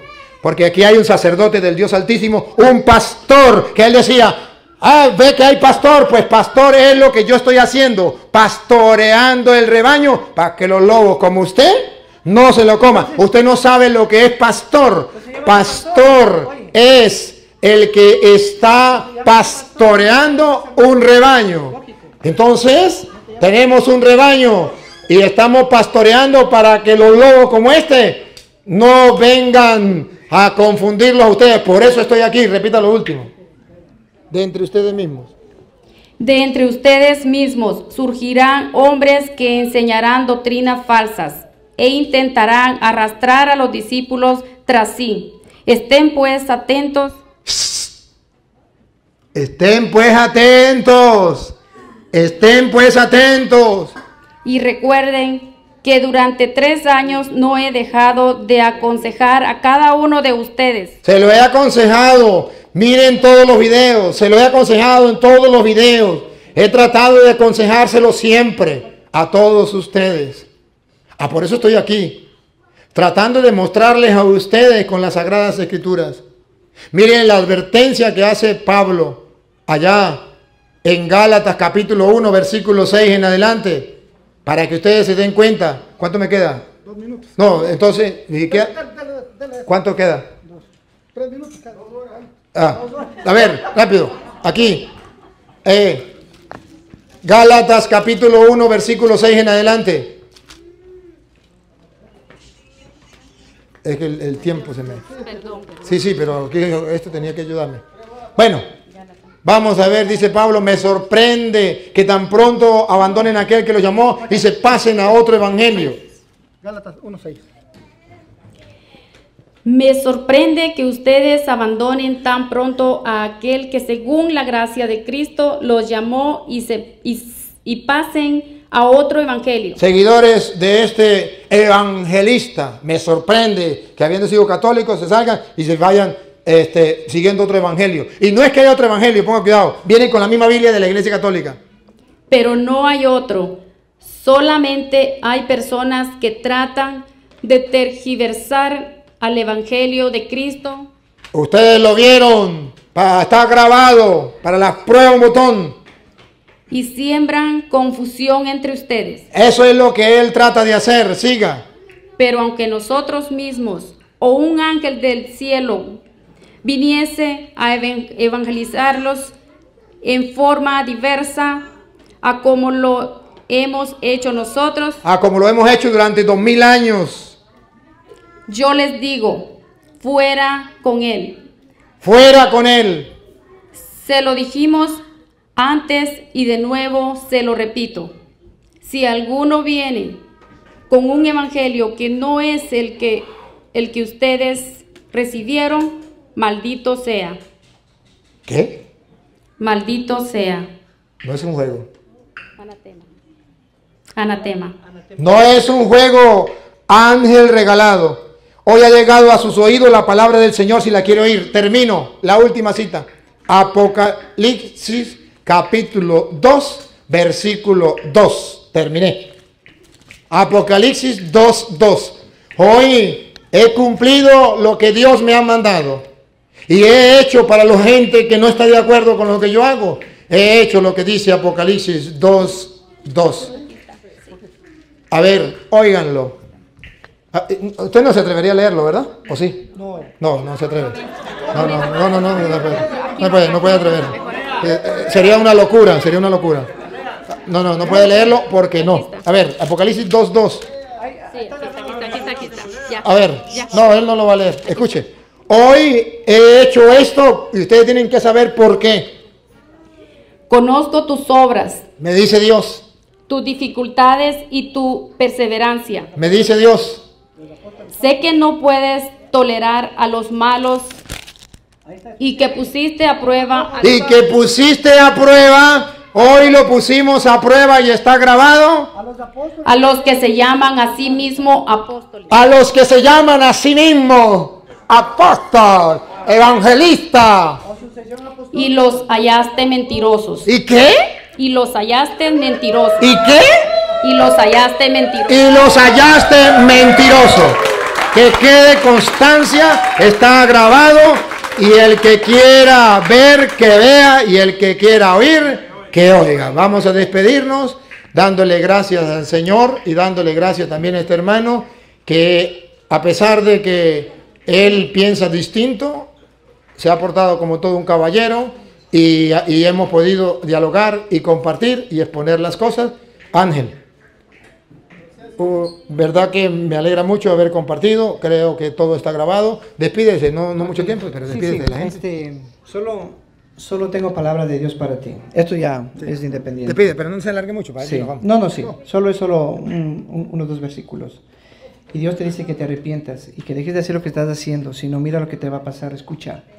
La soberbia de tu corazón te ha engañado. Es palabra de Dios. Escucha. Tú que moras en las, vendi- en las vendiduras de las peñas, en tu altísima morada, que dices en tu corazón, ¿quién me derribará a tierra? Sí, te remontares como águila, y aunque entre las estrellas pusieres tu nido, de ahí te, de ahí te arribaré. Dios dice Jehová de los ejércitos. Así es que escucha. Dios te ama tanto, a ti A todos los amo. nos ama tanto, que lo único que quiere es que te entregues al verdadero Cristo. Amén. Debes saber que esa lectura es de lo que ellos hacen, agarrar un texto bíblico para asustar a los tontos y cortarlo con un cuchillo de cartón, pero eso no lo está diciendo hacia mí, porque yo estoy predicando la palabra del Señor y ustedes lo acaban de escuchar. Simplemente hay, hay ciegos que no quieren ver y hay sordos que no quieren oír. Y ese es un gran problema. Vamos a darle gracias al Señor. Sí, como no, grato placer a todos los hermanos que nos siguen a través de las redes sociales, tanto por aquí como por acá. Decirle que me voy muy contento y muy agradecido con Dios, con todos los hermanos, con el hermano también Ángel, que me ha dado la oportunidad de compartir y que ha dispuesto. Y de hablar duro también, y de hablar duro, y de y de hablar hablar duro, duro, sí. claro. Y entonces, y que tengan cuidado con esos falsos profetas, porque los pueden engañar. Cuidado con, Ah, cuidado con el toro, cuidado Cuidado con el con- cuidado toro. con el toro, lo cornea. con toro. alguna corneada hoy, Ángel. Ah. Bien, Padre Omnipotente, te damos gracias porque en tu infinito amor nos ha dado la oportunidad de compartir. Gracias. Bendito seas. Que esta semilla que se ha sembrado hoy en los católicos y no católicos, esta semilla crezca. Que aquel Señor que tú quieras salvar pueda ver hoy con claridad la verdad que se disipe esas tinieblas del error en todos los corazones y que tu luz de la verdad brille, porque tú eres el Dios que quiere que todos los hombres se salven y lleguen en el conocimiento de la verdad. A ti, oh Dios, sea la gloria, el honor, el poder, la adoración por los siglos de los siglos. El Señor esté con ustedes. La bendición del Dios Todopoderoso, Padre, Hijo y Espíritu Santo, descienda sobre ustedes y les acompañe para siempre. Muchas gracias. Aplauso para el hermano Ángel que ha venido. Y gracias, hermano Ángel, y todos los hermanos que nos han seguido. También el otro hermano que nos está grabando, ¿cómo se llama? Hugo. Hermano Hugo, gracias también por su compañía. Y todos ustedes nos vemos hasta otra oportunidad. Felicidades.